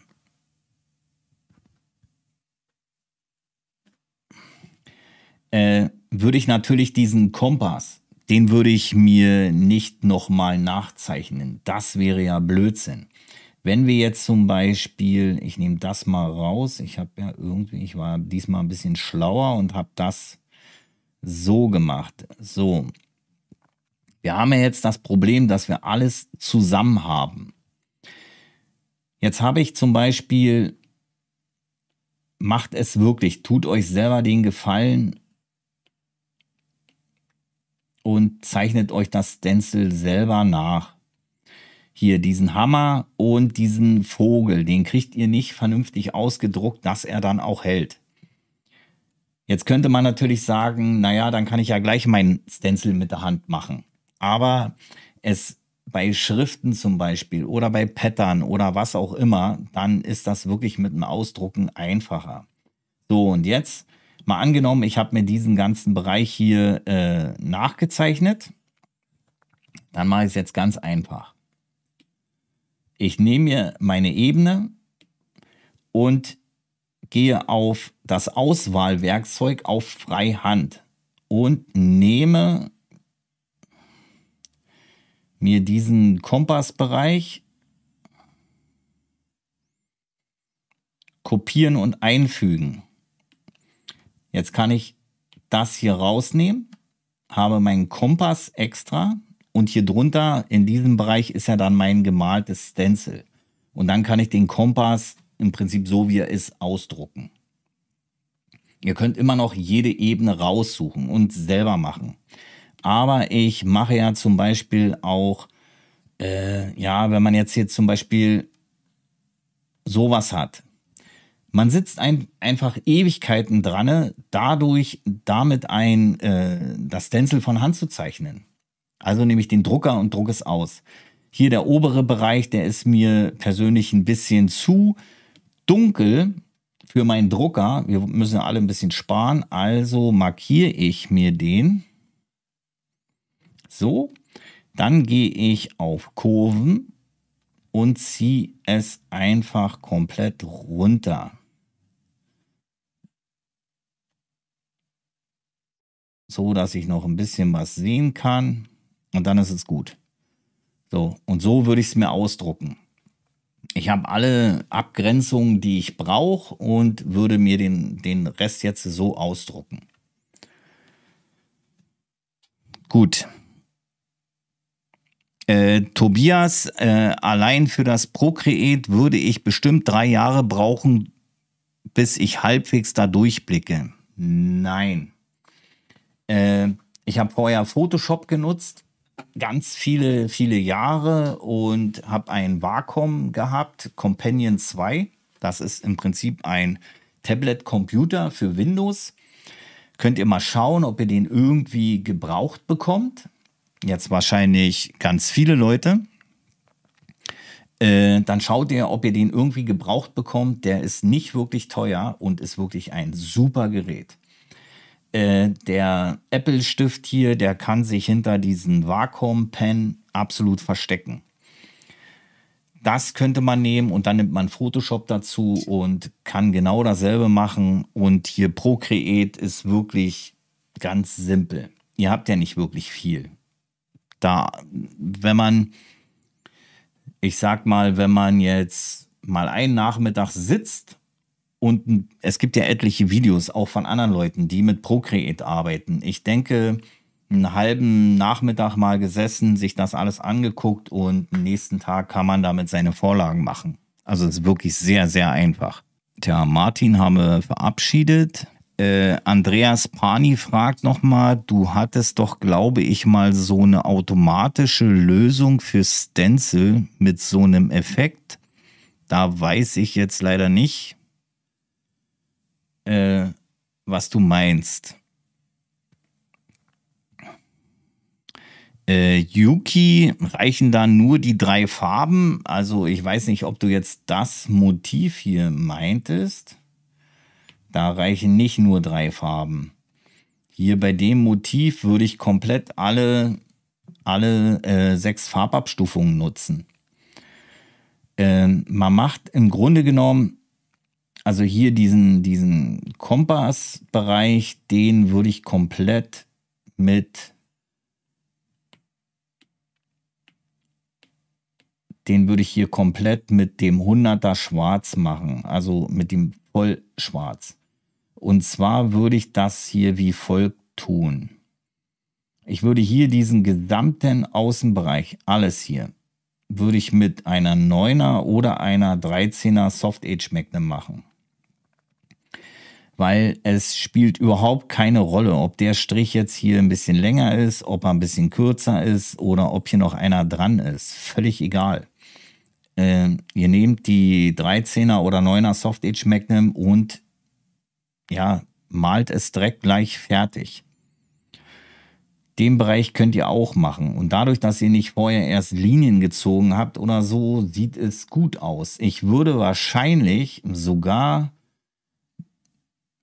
ich würde wahrscheinlich sogar das komplette, den kompletten Kompass mit einer 13er oder 9er Soft Age Magnum machen und mit diesen 100er 100er Farbmischung. So, und hier unten, also wie, ich kann ja mal erklären, wie ich generell rangehe. Also, wenn ich mir ein Motiv aussuche, ich nehme, naja, es ist schwierig zu sagen. Ich habe am Anfang, ich sage ja immer, man soll im dunkelsten Bereich anfangen mit dem hellsten Farbton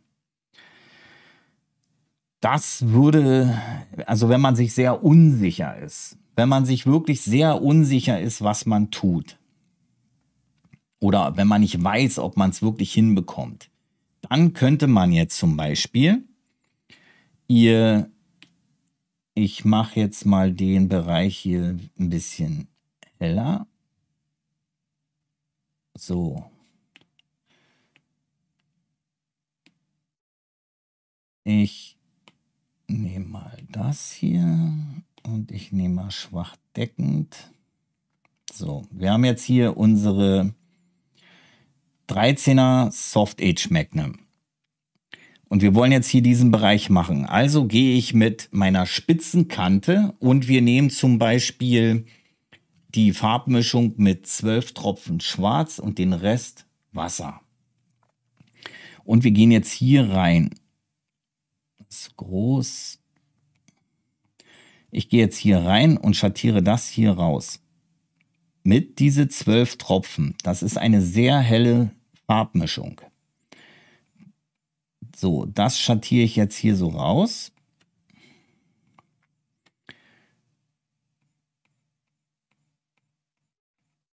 Und nein, ich muss nochmal machen. Ich will es euch ja richtig zeigen. So, um euch das zu zeigen, nehme ich jetzt hier einfach mal eine ganz helle Farbmischung. So, wir gehen jetzt hier dann rein mit der hellen Farbmischung und schattieren uns das hier raus. Mit den zwölf Tropfen. So, und wir gehen hier auch noch runter. Dann nehmen wir den nächsten, gehen auch mit zwölf Tropfen rein. Und jetzt spielt es überhaupt gar keine Rolle, ob ihr irgendwie äh, mal neben der Linie trifft oder so. Das ist völlig egal, weil es wirklich sehr helle Farben sind. Am Anfang sieht es natürlich dunkel aus, ist es aber nicht. So, jetzt haben wir ich muss das hier immer so ein bisschen verwischen, weil ich ja hier keine Magnum habe. So, jetzt haben wir das hier zum Beispiel rausschattiert. Uns ist das natürlich alles viel zu hell. Aber wir haben angefangen im dunkelsten Bereich. So, jetzt haben wir diese drei Innenfedern fertig. So, jetzt würde ich dann nochmal diese zwölf Tropfen nehmen und würde hier unten anfangen, in diesem Bereich. Oder da würde ich wahrscheinlich sogar mit den sechs Tropfen nehmen. So, und ja, hier haben wir auch nochmal. Hier machen wir einfach eine Feder. Und hier den Bereich machen wir auch nochmal eine Feder. So schattieren wir uns das hier raus. Und wir sind mit den hellsten Farbtönen unterwegs. Wenn man Anfänger ist, ne? Wenn ihr schon fortgeschritten seid und wisst, wie eure Farben aussehen, dann könnt ihr natürlich direkt loslegen. Aber so könnt ihr ganz viele Fehler vermeiden. Oder euer Zeitfenster, um einen Fehler auszubessern, ist viel größer, als wenn ihr hier direkt mit vollen Schwarz reingeht. Jetzt stellt euch mal vor, ihr würdet zum Beispiel in diesem Bereich hier oder in diesem Bereich, ihr geht mit 100% schwarz, weil auf dem Original ist es ja schwarz. Und ihr geht da jetzt rein und merkt aber, äh, es ist fleckig. Oder ihr bekommt den Übergang von, von tiefen Schwarz ins nächst helle. Ihr bekommt es nicht hin, weil man immer diese Farbabstufungen sieht. Dann habt ihr keine Chance, es besser zu machen, weil tiefschwarz ist tiefschwarz. Und ihr könnt ja nicht heller drüber schattieren und hoffen, dass es heller wird. Das funktioniert einfach nicht. So, und jetzt haben wir hier zum Beispiel das tiefschwarze. Ach Quatsch, wir haben ja hier in dem, wo die roten Teile sind, da haben wir diese zwölf Tropfen schwarz. Und jetzt könnt ihr einfach, ihr wollt diesen Bereich in dunkelschwarz haben. Und jetzt könnt ihr mit der Soft Age Magnum, geht ihr hier unten nochmal rein und schattiert es in dunkelschwarz aus. Aber nur noch die Spitzen. Versteht ihr? Ich hoffe, ihr versteht, was ich meine. So macht man es zum Beispiel beim Airbrush, so macht man es zum Beispiel beim Zeichnen, so macht man es überall. So, und jetzt könnt ihr immer weiter rausschattieren und bekommt so eure Abstufung hin. Von hell nach dunkel, aus dem dunkelsten Bereich ins helle. Was für ein Wortspiel. So, Jetzt habt ihr diesen Bereich fertig. Jetzt haben wir aber noch die, die Farbmischung mit zum Beispiel drei Tropfen und mit sechs Tropfen oder mit vier Tropfen und mit acht Tropfen. Mein gesamtes Tattoo-Grundgerüst lege ich mir im Prinzip mit den Farbstufen ab und zwar die 100% nutze ich in den absolut dunkelschwarzen Bereichen. Das, was auf dem Tattoo wirklich schwarz ist, das nutze ich da auch. Die 75 Prozent, die nutze ich immer, um aus den dunkelschwarzen rauszukommen. Äh, wenn ich jetzt zum Beispiel einen Bereich habe, der sowieso schon sehr dunkel ist, wie zum Beispiel hier unter den Flügeln hier oben, da in diesem Bereich, da kann man, gehe ich mit 75 Prozent direkt rein und schattiere es langsam raus. Äh, bei einem Schattiervideo habe ich euch gezeigt, wie man das so rausschattiert. So könnt ihr das da auch machen. Oder hier dieser gesamte Bereich, den könnte man auch mit 75 machen. Und ähm, äh, wenn ihr das ausschattiert habt, könnt ihr nochmal mit den 100er und zum Beispiel eine 9er Round Shader geht ihr in die Spitzen rein. Dadurch bekommt ihr einen wirklich geraden Abschluss und es sieht am Ende nicht alles so verwaschen aus. Da geht ihr rein und schattiert es raus. So, diese 50% nutze ich ebenfalls dafür. Das ist zum Beispiel für den Bereich nachher hier unten, in dem unteren Bereich. Also im Grunde genommen gehören diese drei Stufen gehören dazu. Wenn ich Anfänger bin, dann, Moment, wir haben jetzt zum Beispiel noch die 12, die 8 und die 4. Diese drei variieren bei mir. Manchmal nehme ich auch bloß 10, 6 und 3. Ist der Mensch sehr hell, ist, ist er zum Beispiel ein absoluter Kellerfreund, spielt den ganzen Tag im Keller, so ein Zocker oder so, dann kann man die Mischung 10, 6, 3 nehmen. Ist jemand, der arbeitet auf dem Bau, sonnengebräunt und so weiter, dann nehme ich eher diese Mischung. Warum, erklärt sich, glaube ich, von selbst. So. Auf jeden Fall gehören 100, 75 und 50, die gehören zusammen. Wenn ich Anfänger bin, dann fange ich mit 12, 8 und 4 an. Dann gehe ich in den Bereich hier mit den 12 rein und gehe dann nach oben. Dann gehe ich hier mit 75 rein und dann nachher unten in den Spitzen mit 100. Weil wenn ihr jetzt zum Beispiel mit den 12 Tropfen anfangt und ihr habt euch vermalt oder verschattiert oder keine Ahnung, wie man das nennt, dann ist es egal, weil ihr seid noch nicht an eurem Farbendpunkt. Ich hoffe, ihr versteht, was ich meine. So, und dann haben wir noch die Mischung 8 und 4. Die nutze ich nachher zum Schluss zum Verblenden.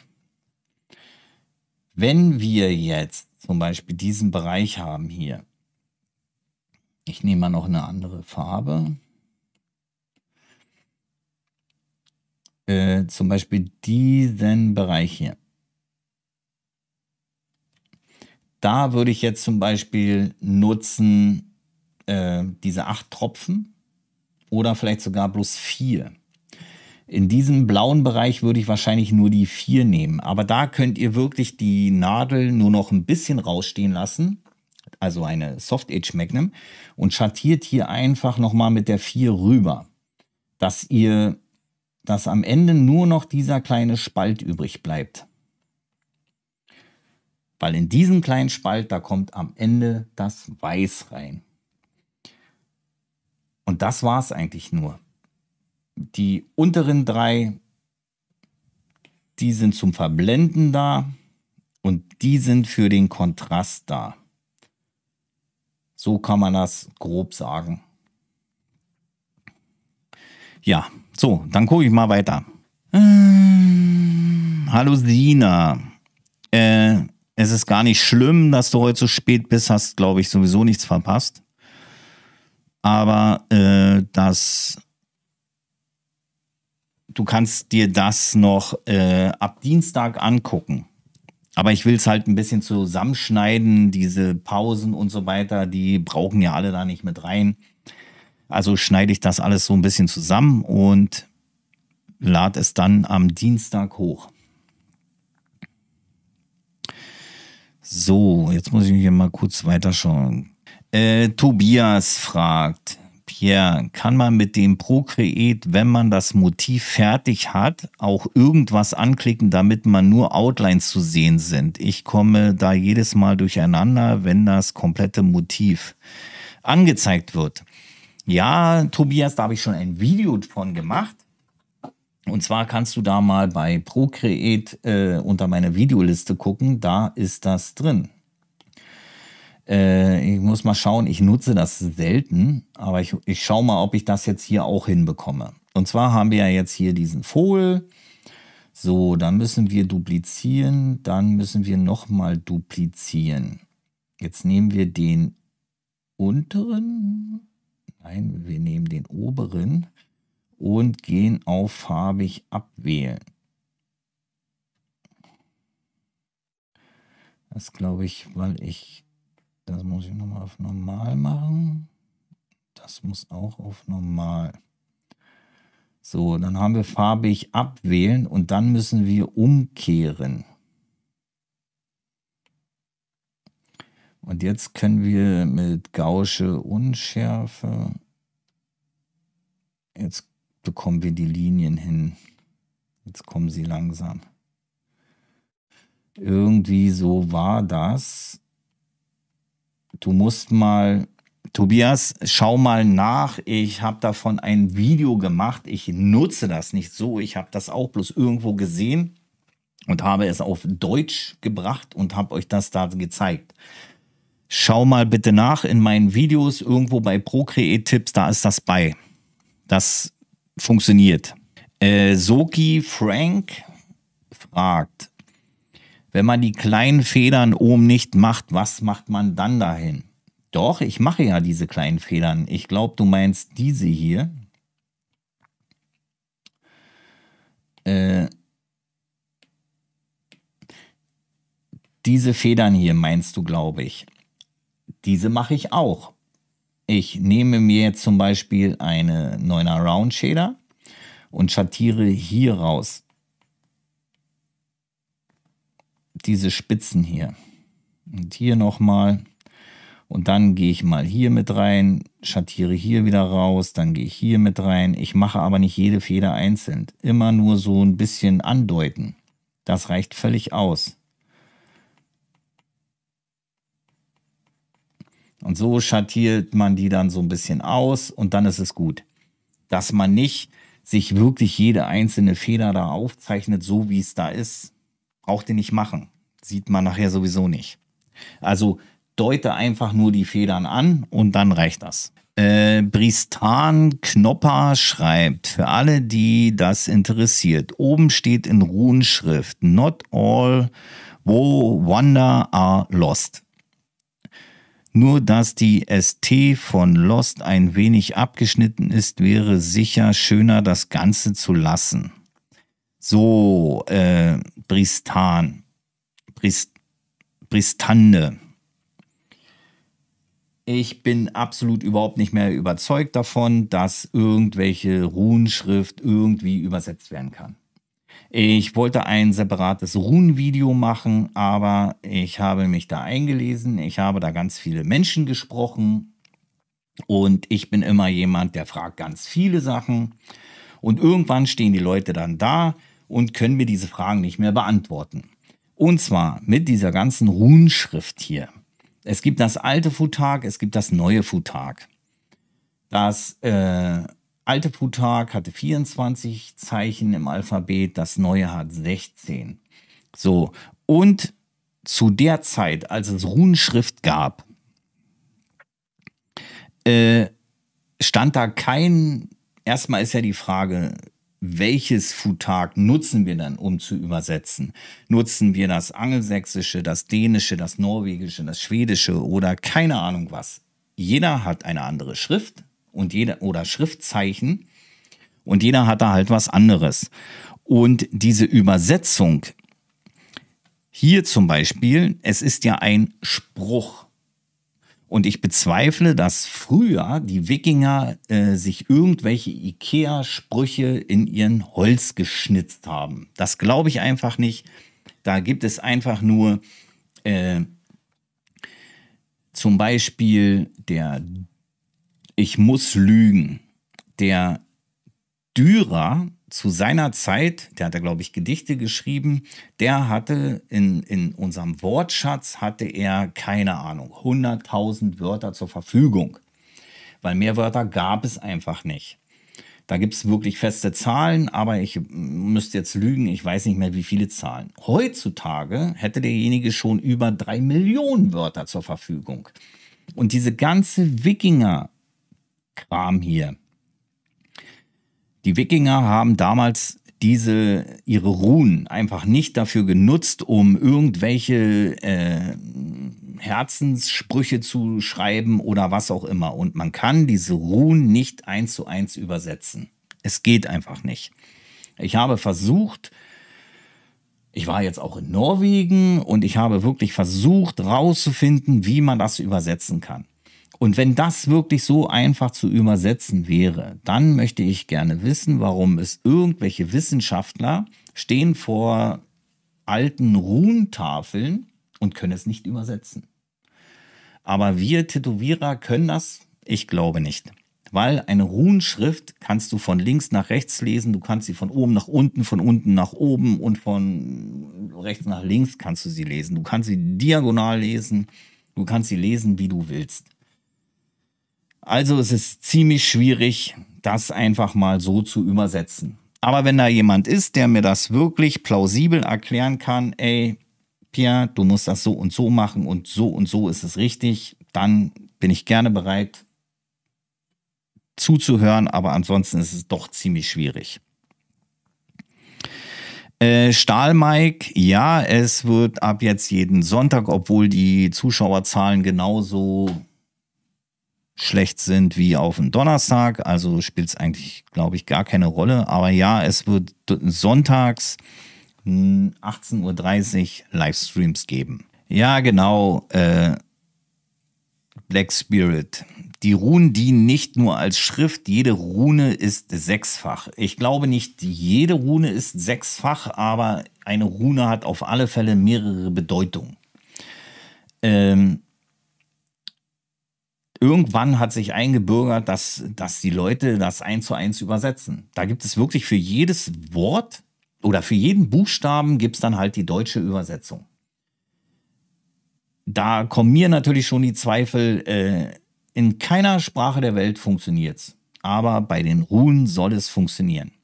Natürlich, wenn wir alle, wenn wir alle gleich äh, übersetzen, dann ist es natürlich richtig. Äh, die Wikinger früher, die werden wahrscheinlich über uns lachen. Oder besser gesagt, die werden gar nicht verstehen, wovon wir überhaupt reden. Das ist ja alleine schon von Generation zu Generation schwierig. Ich bin damals als jungscher Bengel nach Hause gekommen und habe nicht Niki gesagt, ich habe T-Shirt gesagt. Und da sind meine Eltern fast ausgetickt. Oder, oh, das ist ja cool. Nein, was ist denn cool? Cool, gibt's nicht. Und so wird es ja immer weiter. Heute ballert mir mein 15-jähriger Sohn Wörter an den Kopf. Da frage ich mir, hallo? Ja? Und so entwickelt sich die Sprache immer weiter. Und die Wikinger früher, die waren nicht der Meinung, einen Text zu schreiben, äh, äh, Liebe ist äh, da, wo alle unterm Sonnenuntergang, äh, keine Ahnung, ne? hat, hatte so ein Wikinger nicht vor. Glaube ich jedenfalls nicht. Und ja, wenn jemand da mehr weiß und nicht nur einfach irgendwelche kopierten äh, Internettexte hat, was eine Runenbedeutung hat, äh, da kann mir gerne mal anschreiben, würde mir nämlich wirklich interessieren. Äh, Bristande, klar, klar. Äh, genau, denn es ist halt einfach schwierig mit diesen Runen. Und natürlich, wenn man, wenn man es immer so mir reicht persönlich, sowas reicht mir einfach nicht aus. Nur weil jetzt halt jemand sagt, äh, ich komme von da und deswegen ist es so. Das, äh, das befriedigt mich einfach nicht. Ne? Nur weil, weil ganz viele Leute etwas sagen, dass es so sein soll, dann reicht es mir nicht. Ich brauche dafür Quellen oder äh, Zeichnungen oder vernünftige Aussagen, dass es auch wirklich so ist. Hm?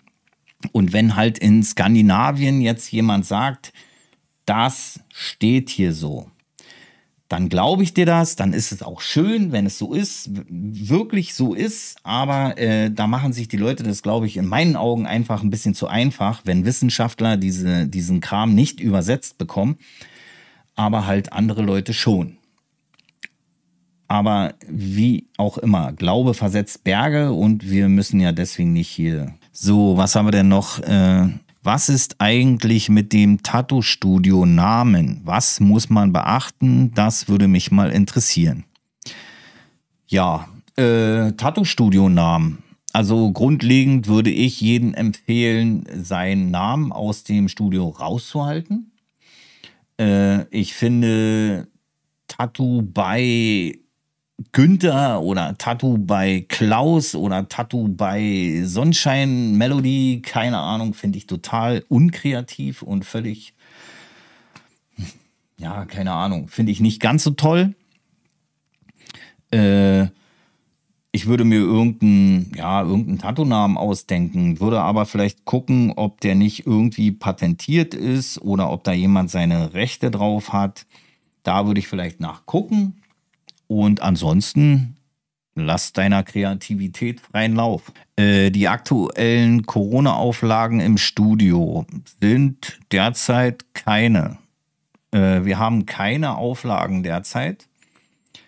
Äh, ab Oktober sind äh, wieder Maskenpflicht, glaube ich. Aber da kriegen wir ja dann noch definitiv Bescheid. Duki, ich habe dich gar nicht gesehen, als du gekommen bist, aber ich wünsche dir noch einen wunderschönen Sonntag. Äh, Black Spirit, du hast, was hast du denn aus dem 17. Jahrhundert? Das alte Futag oder was? So Leute, habt ihr noch irgendwelche Fragen? Wann zeigst du wieder Tattoos, wenn es sich lohnt? Äh, ich sammle heute, heute früh oder heute Nachmittag sind noch, ist noch ein Bild reingekommen, aber das lohnt sich nicht mit drei Bildern.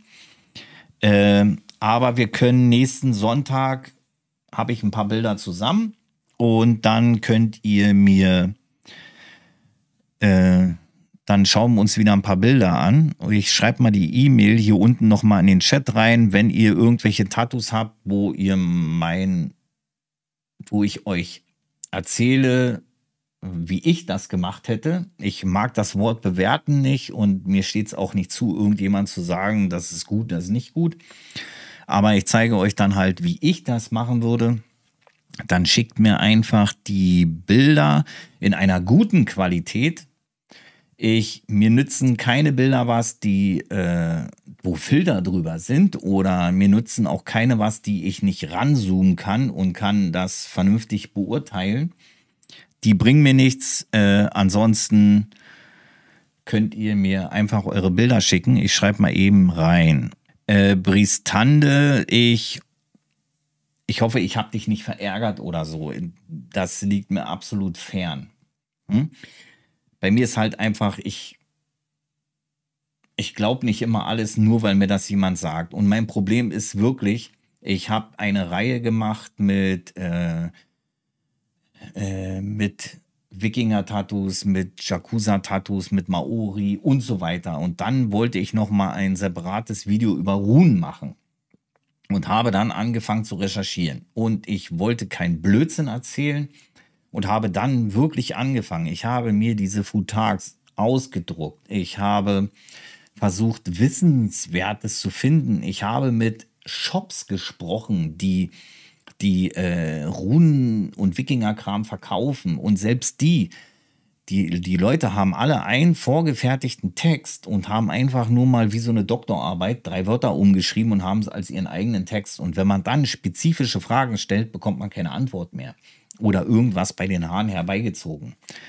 Nur deswegen. Und deswegen, weil ich da einfach auf keinen Nenner gekommen bin, der mich zufriedenstellt und ich keiner bin, der alles hinterher plappert, obwohl es vielleicht nicht richtig ist. Deswegen habe ich das Video beiseite gelegt und habe gesagt, bevor nicht jemand da ist, der mir klipp und klar erklärt, so und so wurde es gemacht, mache ich auch kein Video. Die Sina fragt, mich würde mal ein Video zum Arbeiten mit True Gray Farben, zum Beispiel für Cover-Up, interessieren. Ja, Sina, das können wir machen. Äh, ich habe ja gesehen, dass du diese Frage schon gestellt hast, wegen dem selber mischen. Ich persönlich mische das äh, Echtgrau lieber selber.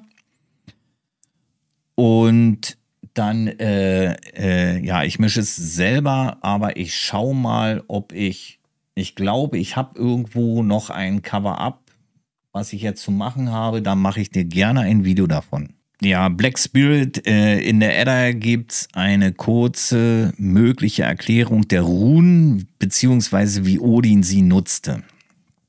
Genau das ist ja schon mal äh, generell so eine Aussage. Das ist ja im Grunde genommen nichts anderes, wie wenn ich sage, äh, ich klappe die Bibel auf und da sind diese Bibelsprüche drinne und so hat Gott das gewollt. Das sind einfach Sachen, die, äh, mit denen ich einfach überhaupt gar nicht klarkomme. Das äh, nennt mich Heide, aber äh, ja. Aber das Thema lassen wir, ne? Das ist, da sind Kriege von entstanden, ne? durch, durch Kirchen und so weiter. Aber ich finde ich finde generell diese ganze Wikinger-Kultur finde ich cool. Ich finde auch dieses, hm, ja, dieses Mystische, was drumrum ist, finde ich auch cool. Ich finde natürlich ein bisschen schade, es gibt ja wirklich Leute, die glauben an Odin, Thor und Freya und wie sie alle heißen. Die glauben an die und das finde ich auch toll. Aber komischerweise durch diese ganze Fernsehsache, ne, Vikings und so weiter, äh, finden auf einmal etliche Leute mehr Wikinger auf einmal total toll. Ne? Das ist genauso wie Fußball scheiße finden und zur WM rennen wir alle hin. Hm? Also ich finde Wikinger an sich schon wirklich eine coole Sache. Ja, Paul Thoman, äh, mit, diesen, mit diesem Text. Ja, ich lese das jetzt mal kurz vor. Der Paul Thoman. Ich denke, Bristande meinte, dass das hier nicht ein echter Runentext ist, sondern ein englischer Spruch der die Runen einfach gemäß gängiger alphabetischer Zuordnung als Buchstaben nutzt. Genau, Paul. Das ist ja das, was viele machen. Und das ist auch das, was ich tue, wenn jetzt hier jemand herkommt und der möchte seinen Kindernamen haben als Runenschrift oder was auch immer, dann gibt es ja diese typischen Runenübersetzer und so. Und genau, das weiß ich. So, jetzt hat Bristande noch dazu geschrieben, nein, gar nicht. Und vieles von dem, was du sagst, stimmt ja auch, nur ist das ja kein Abbild von einem echten Runenstein, sondern ein Bild von jemandem aus der heutigen Zeit, der scheinbar diesen Spruch integrieren wollte. Mag sein, kann gut möglich sein. Ich habe den auch schon ziemlich oft gesehen, muss ich dir sagen. Äh, dieser Spruch ist mir nicht wirklich fremd. Ja, das kann gut sein. Ich glaube, also äh, Black Spirit meint, dass dieser Kompass auch nicht mehr Wikinger ist, sondern schon die moderne. Ich glaube, dieser Kompass, der stimmt so oder so nicht, weil äh, dieser, dieser hier Bereich, der ist ja schon falsch. Aber spielt auch überhaupt keine Rolle. Christian Kreuzer, ich mach dir die Woche noch zwei Tattoos und schicke sie dir zu. Ja, kannst du gerne tun. Jojo meint, sowas schaue ich gar nicht. Vikings, Runen sind zwar interessant, aber die Serie oder Film Vikings hat nichts mit den richtigen Wikingern zu tun, finde ich. Ja, ich enthalte mich da jetzt der Stimme. Ja, Patrick Riedel hat hier mal wieder eine schöne Frage bei dem Bild Outlines des Tors Hammers dünn stechen oder eher schon anfangs schattieren und kaum sichtbar? Das ist eine gute Frage. Wenn ihr die Möglichkeit habt, ein Tattoo von der Zeit her von unten nach oben komplett durchzuarbeiten, dann tut das auch weil dann das Motiv einfach viel schöner wird. Dann würde ich wirklich von unten nach oben hochschattieren. Mit, mit der, mit, mit einer Soft Age Magnum oder was auch immer. Ich würde hier wirklich, wie ich es vorhin gezeigt habe, hier diesen Bereich hochschattieren, dann hier wieder reingehen und würde es komplett schattieren, ohne Outlines. Ich würde, wenn das Motiv dann fertig schattiert ist, dann würde ich, ich nehme mal eine andere Farbe, dann würde ich trotzdem mit einer, mit einer, von mir aus auch mit einer Liner oder mit, äh, mit einer Round Shader ab und zu diese harten Kanten setzen. Hier zum Beispiel und hier, ne, dass ihr wirklich einen, einen schönen Übergang habt. Und auch mit einer 9er Round Shader vielleicht diesen Bereich hier nochmal abziehen dass ihr hier auch äh, eine etwas härtere Kante bekommt. Das würde ich schon machen. Oder dieser Bereich hier, dass ihr den auch noch mal ein bisschen mit einer härteren Kante lang geht. Es gibt ja harte Kanten in der Natur. Das würde ich schon machen. Aber wenn ihr wirklich dieses komplette Motiv einmal mit Outlines abzieht und dann ausschattiert, dann seid ihr ruckzuck in diesen Mal nach Zahlen. Würde ich nicht machen. Ich würde wirklich von unten hochschattieren und Linien wirklich nur da ziehen, wo auch welche sind und welche hin müssen. Genau. Ich hoffe, ich habe deine Frage beantwortet. Alex, ich wünsche dir noch einen schönen Sonntag. Wir hören und sehen uns. Äh, Andreas Pani fragt, Achseltattoo, besondere Vorkehrungen? Achseltattoo definitiv wirklich glatt rasieren. Das ist wichtig. Ich würde vielleicht kein Achseltattoo im Hochsommer machen, weil erstmal hält das Stencil sowieso schon total bescheiden unter der Achseln. Und wenn es ist auch wirklich unangenehm, wenn derjenige echt krass schwitzt unter den Achseln. Also da würde ich wirklich, weil du kannst kein Deo drauf haben, du kannst es nicht eincremen oder was auch immer, du musst da mit Desinfektion rauf, das muss glatt rasiert sein. Und genauso wie unter den Achseln, genauso wie im Schambereich hat man sehr, sehr harte Haarwurzeln.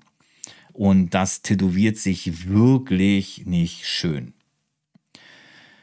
Aber ansonsten ist es eine Haut wie jede andere auch. Und also wenn man da tätowiert, ist es so wie zum Beispiel in den Armbeugen. Wenn man hier rüber geht, dann ist die Haut auch anders. Sie wird, sie schwillt anders an, so eher so pickelig und die Haut ist auch relativ dünn. So ist es unter den Achseln auch. Äh, Black Spirit schreibt, äh, dieser Kompass ist einer von zig unterschiedlichen. Es gibt einen Katalog davon aus Island zur Zauberei benutzt. Na, ich kenne nur zwei mögliche Sachen. Einmal ist es dieser Schutz, diese Schutzkompass, nenne ich es jetzt einfach mal. Das sieht so ähnlich aus, hat aber alles die gleichen Zeichen. Das ist ja das hier mit dem Schutz, was sie sich hier auf Schildern oder auf den Kopf gemalt haben und so weiter. Und dann halt diesen, dieses Symbol hier, was alle als Kompass sehen, das ist im Grunde genommen auch nur so ein Schutzsymbol, der euch, der den Weg wieder nach Hause findet und so weiter. Im Grunde genommen sind es ja alles nur Symbole, die entweder den Gegner Angst einflößen sollte oder wie Kriegsbemalung im Grunde genommen oder halt äh, irgendwelche Glücksbringer. Ist im Grunde genommen im Maori genau dasselbe. Das sind auch alles nur Glückskeksweisheiten. Ja, so wie Tobias das schreibt. Egal ob Wikinger, Christen oder sonst was, keiner von uns war in der Vergangenheit dabei und kann hundertprozentig sagen, was richtig oder falsch ist. Das stimmt. Jojo fragt, wie erstellt man ein Tattoo, was aussieht wie ein Armband, also um den Arm herum. Das ist, äh, da gibt es unheimlich viele Versionen, wie man das machen kann. Einige sagen Gummiband. Gummiband finde ich persönlich total blöd, weil es einfach nicht funktioniert. Äh, dann im Grunde genommen, ich kann euch das mal ganz kurz zeigen. Egal, was ihr macht. Ob ihr ein Maori-Tattoo macht, ob ihr irgendwelche Armbänder machen wollt oder, oder, oder. Das ist das Einzige, was ihr braucht. Und ein Stift dazu. Wenn ihr zum Beispiel hier um den Arm wollt ihr ein Armband haben, das komplett gleich ist, dann nehmt ihr euer Klebeband. Es hat eine exakt, exakt, exakt gleich breit. So, mache ich euch aber noch ein separates Video von. Das habe ich schon bei mir auf der Liste.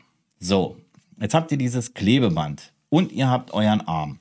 Jetzt könnte man so anfangen und versucht es darum zu basteln. Ist aber blöd. Also was machen wir? Die Person hält den Arm nach vorne. Und zwar so, wie er sie die meiste Zeit hat, wenn er was zeigen will. Das heißt so. Er hält den Arm so nach vorne und relativ gerade. Dann nehmt ihr das Klebeband und geht von unten, ich zeige euch das hier, ihr geht von unten unter den Arm, setzt es an ihr schaut immer schön von oben, dass es gerade ist, ne? setzt es an, zieht es hier rum, kürzt es halt ein bisschen. Hier das Mikrofon, das geht auch nicht ganz gerade. So, und geht mit dem und geht hier komplett gerade rum. So. Dann nehmt ihr einen Stift und zeichnet diese Linie nach. Wenn ihr diese Linie fertig habt und ihr wollt jetzt noch, ihr habt jetzt eine Linie. Wenn ihr jetzt diese Linie nochmal haben wollt, aber ihr wollt es schmaler haben wie das oder breiter wie das, jeder Tätowierer hat Holzmundsparte. Und zwar zeichnet ihr euch jetzt hier ein Strich. Jetzt wollt ihr, so, ich mache den Strich mal ein bisschen breiter. So. Jetzt habt ihr hier diesen Strich und ihr wollt jetzt ein Armband haben, was 4 cm breit ist. Da macht ihr ungefähr hier noch ein. Und jetzt habt ihr ja euren Arm und haltet an diesem Strich und macht hier unten diesen Strich. Geht ein Stückchen weiter, macht den Strich, geht ein Stückchen weiter, macht den Strich und dann verbindet ihr diese Striche. Und das ist alles. Wenn ihr jetzt da ein Mandala haben wollt oder irgendein eine, ein Muster, dann müsst ihr es raufzeichnen. So einfach ist das. Oder Ihr, ihr habt ja jetzt hier zum Beispiel diesen, diesen Abstand von 4 cm. Jetzt könnt ihr euch zum Beispiel bei, äh, bei Procreate ist es ganz einfach. So, ihr macht eine neue Galerie und jetzt könnt ihr zum Beispiel hier auf Leinwand gehen.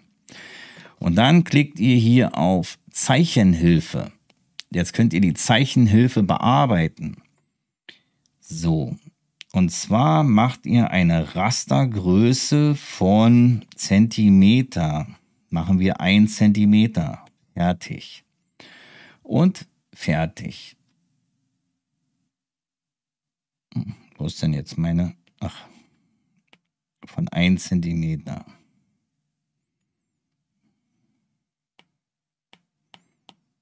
Hm.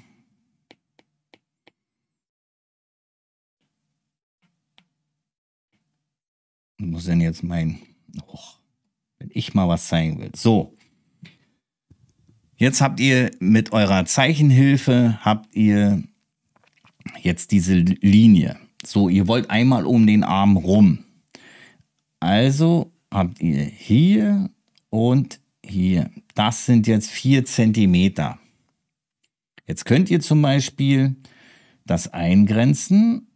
Ihr geht hier.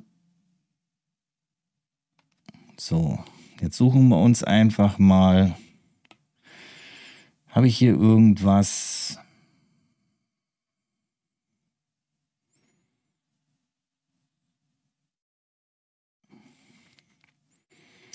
Wir nehmen jetzt hier einfach mal das. So, Nehmen wir ein Rechteck.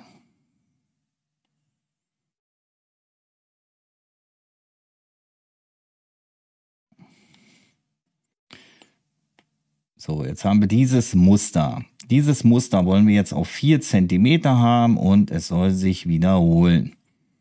So, setze ich jetzt hier unten an und ich mache es kleiner, damit ich es auf 4 cm habe. So ist es auf 4 cm. Jetzt nehme ich diese Ebene und dupliziere mir die und mache es vertikales Spiegeln. Weil dann passt es auch ganz genau hier rauf.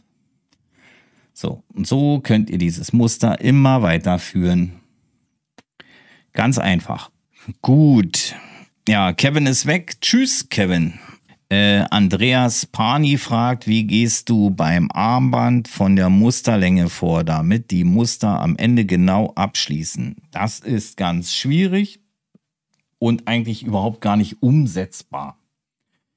Ihr könnt euch jetzt, ja, mit viel Aufwand, könnt ihr euch so ein äh, Maßband nehmen aus dem Nähbereich und könnt euch das wirklich ausmessen. Aber äh, es funktioniert in der Regel nicht. Was man machen kann, man lässt es an einer Stelle offen. Ihr könnt ja zum Beispiel hier diesen Bereich, könnt ihr einfach offen lassen, dass das Armband nicht geschlossen ist. Wenn ihr wollt, dass es geschlossen ist, dann müsst ihr euch das von vornherein einteilen. Dass ihr, ja, im Prinzip könnt ihr ja auch das nehmen. Und wenn ihr zum Beispiel wisst, dass, keine Ahnung, dass von hier bis hier sind es jetzt vier Zentimeter. Also im Grunde genommen eine Blume sind vier Zentimeter. Dann habt ihr hier euren vier Zentimeter Maß und könnt euch ranhalten, ob es ungefähr hinkommen würde. Das Problem ist, dass es Haut ist und dass es auch eine Tätowierung ist. Und es kann nicht immer alles 100% genau sein, weil äh, ja, weil es einfach nicht funktioniert. Ja, und deswegen ist es bei Maori, ja, du musst halt alles komplett draufzeichnen und dann teilst du dir das auf die Fläche ein. Und oftmals, wenn man jetzt zum Beispiel ein langes Maori-Band hat, dann teilt man sich, wenn man jetzt zum Beispiel ein paar äh, Zähne machen will, dann teilt man sich hier diese Breite ein, man nimmt sich immer Hilfsmittel. Dann teilt man sich das ein. So, und jetzt sehe ich am Ende, oh, ich werde nicht mit allen hinkommen. Dann fange ich schon an, sie etwas, entweder etwas kleiner zu machen oder etwas größer zu machen, so dass es am Ende gleichmäßig aussieht. So, Sascha hören. Hab Pierre und seinen Kanal erst vor wenigen Tagen entdeckt, hast wirklich sehr interessante Videos und bist mega sympathisch. Werde jetzt öfters mit am Start sein. Liebe Grüße an euch alle. I'll be back. Ja, herzlich willkommen, Sascha. Äh, ich freue mich, wenn du abonnierst. So, liebe Leute, ich denke, es ist jetzt Viertel zehn. Und ich denke, das reicht auch für heute. Ja, im Großen und Ganzen kann ich sagen, ich sehe ja jetzt hier meine Aufrufe und so weiter. Es ist im Grunde genommen genauso wie am Donnerstag. Und was aber auch nicht weiter schlimm ist, aber für mich passt Sonntag, glaube ich, immer ein bisschen besser, weil man da schon mal einen Tag frei hatte in den meisten Fällen. Und ja, ich wünsche euch auf jeden Fall noch einen angenehmen Restsonntag, was auch immer davon übrig bleibt. Ich wünsche euch einen unheimlich schönen Start in die neue Woche. Ich habe übrigens noch Urlaub. Ich will nicht angeben, aber ich habe noch Urlaub. Und ich denke, wir sehen uns im nächsten Wir sehen uns im nächsten Stream oder was auch immer oder Video. Es kommt diese Woche noch ein Video. Und zwar geht es da ums Geld. Und das ist nicht nur für Kanalmitglieder, sondern für alle. Da geht es ums Geld, wie man was berechnet. Ja, und damit verabschiede ich mich von diesem Stream und wünsche euch Tschüss.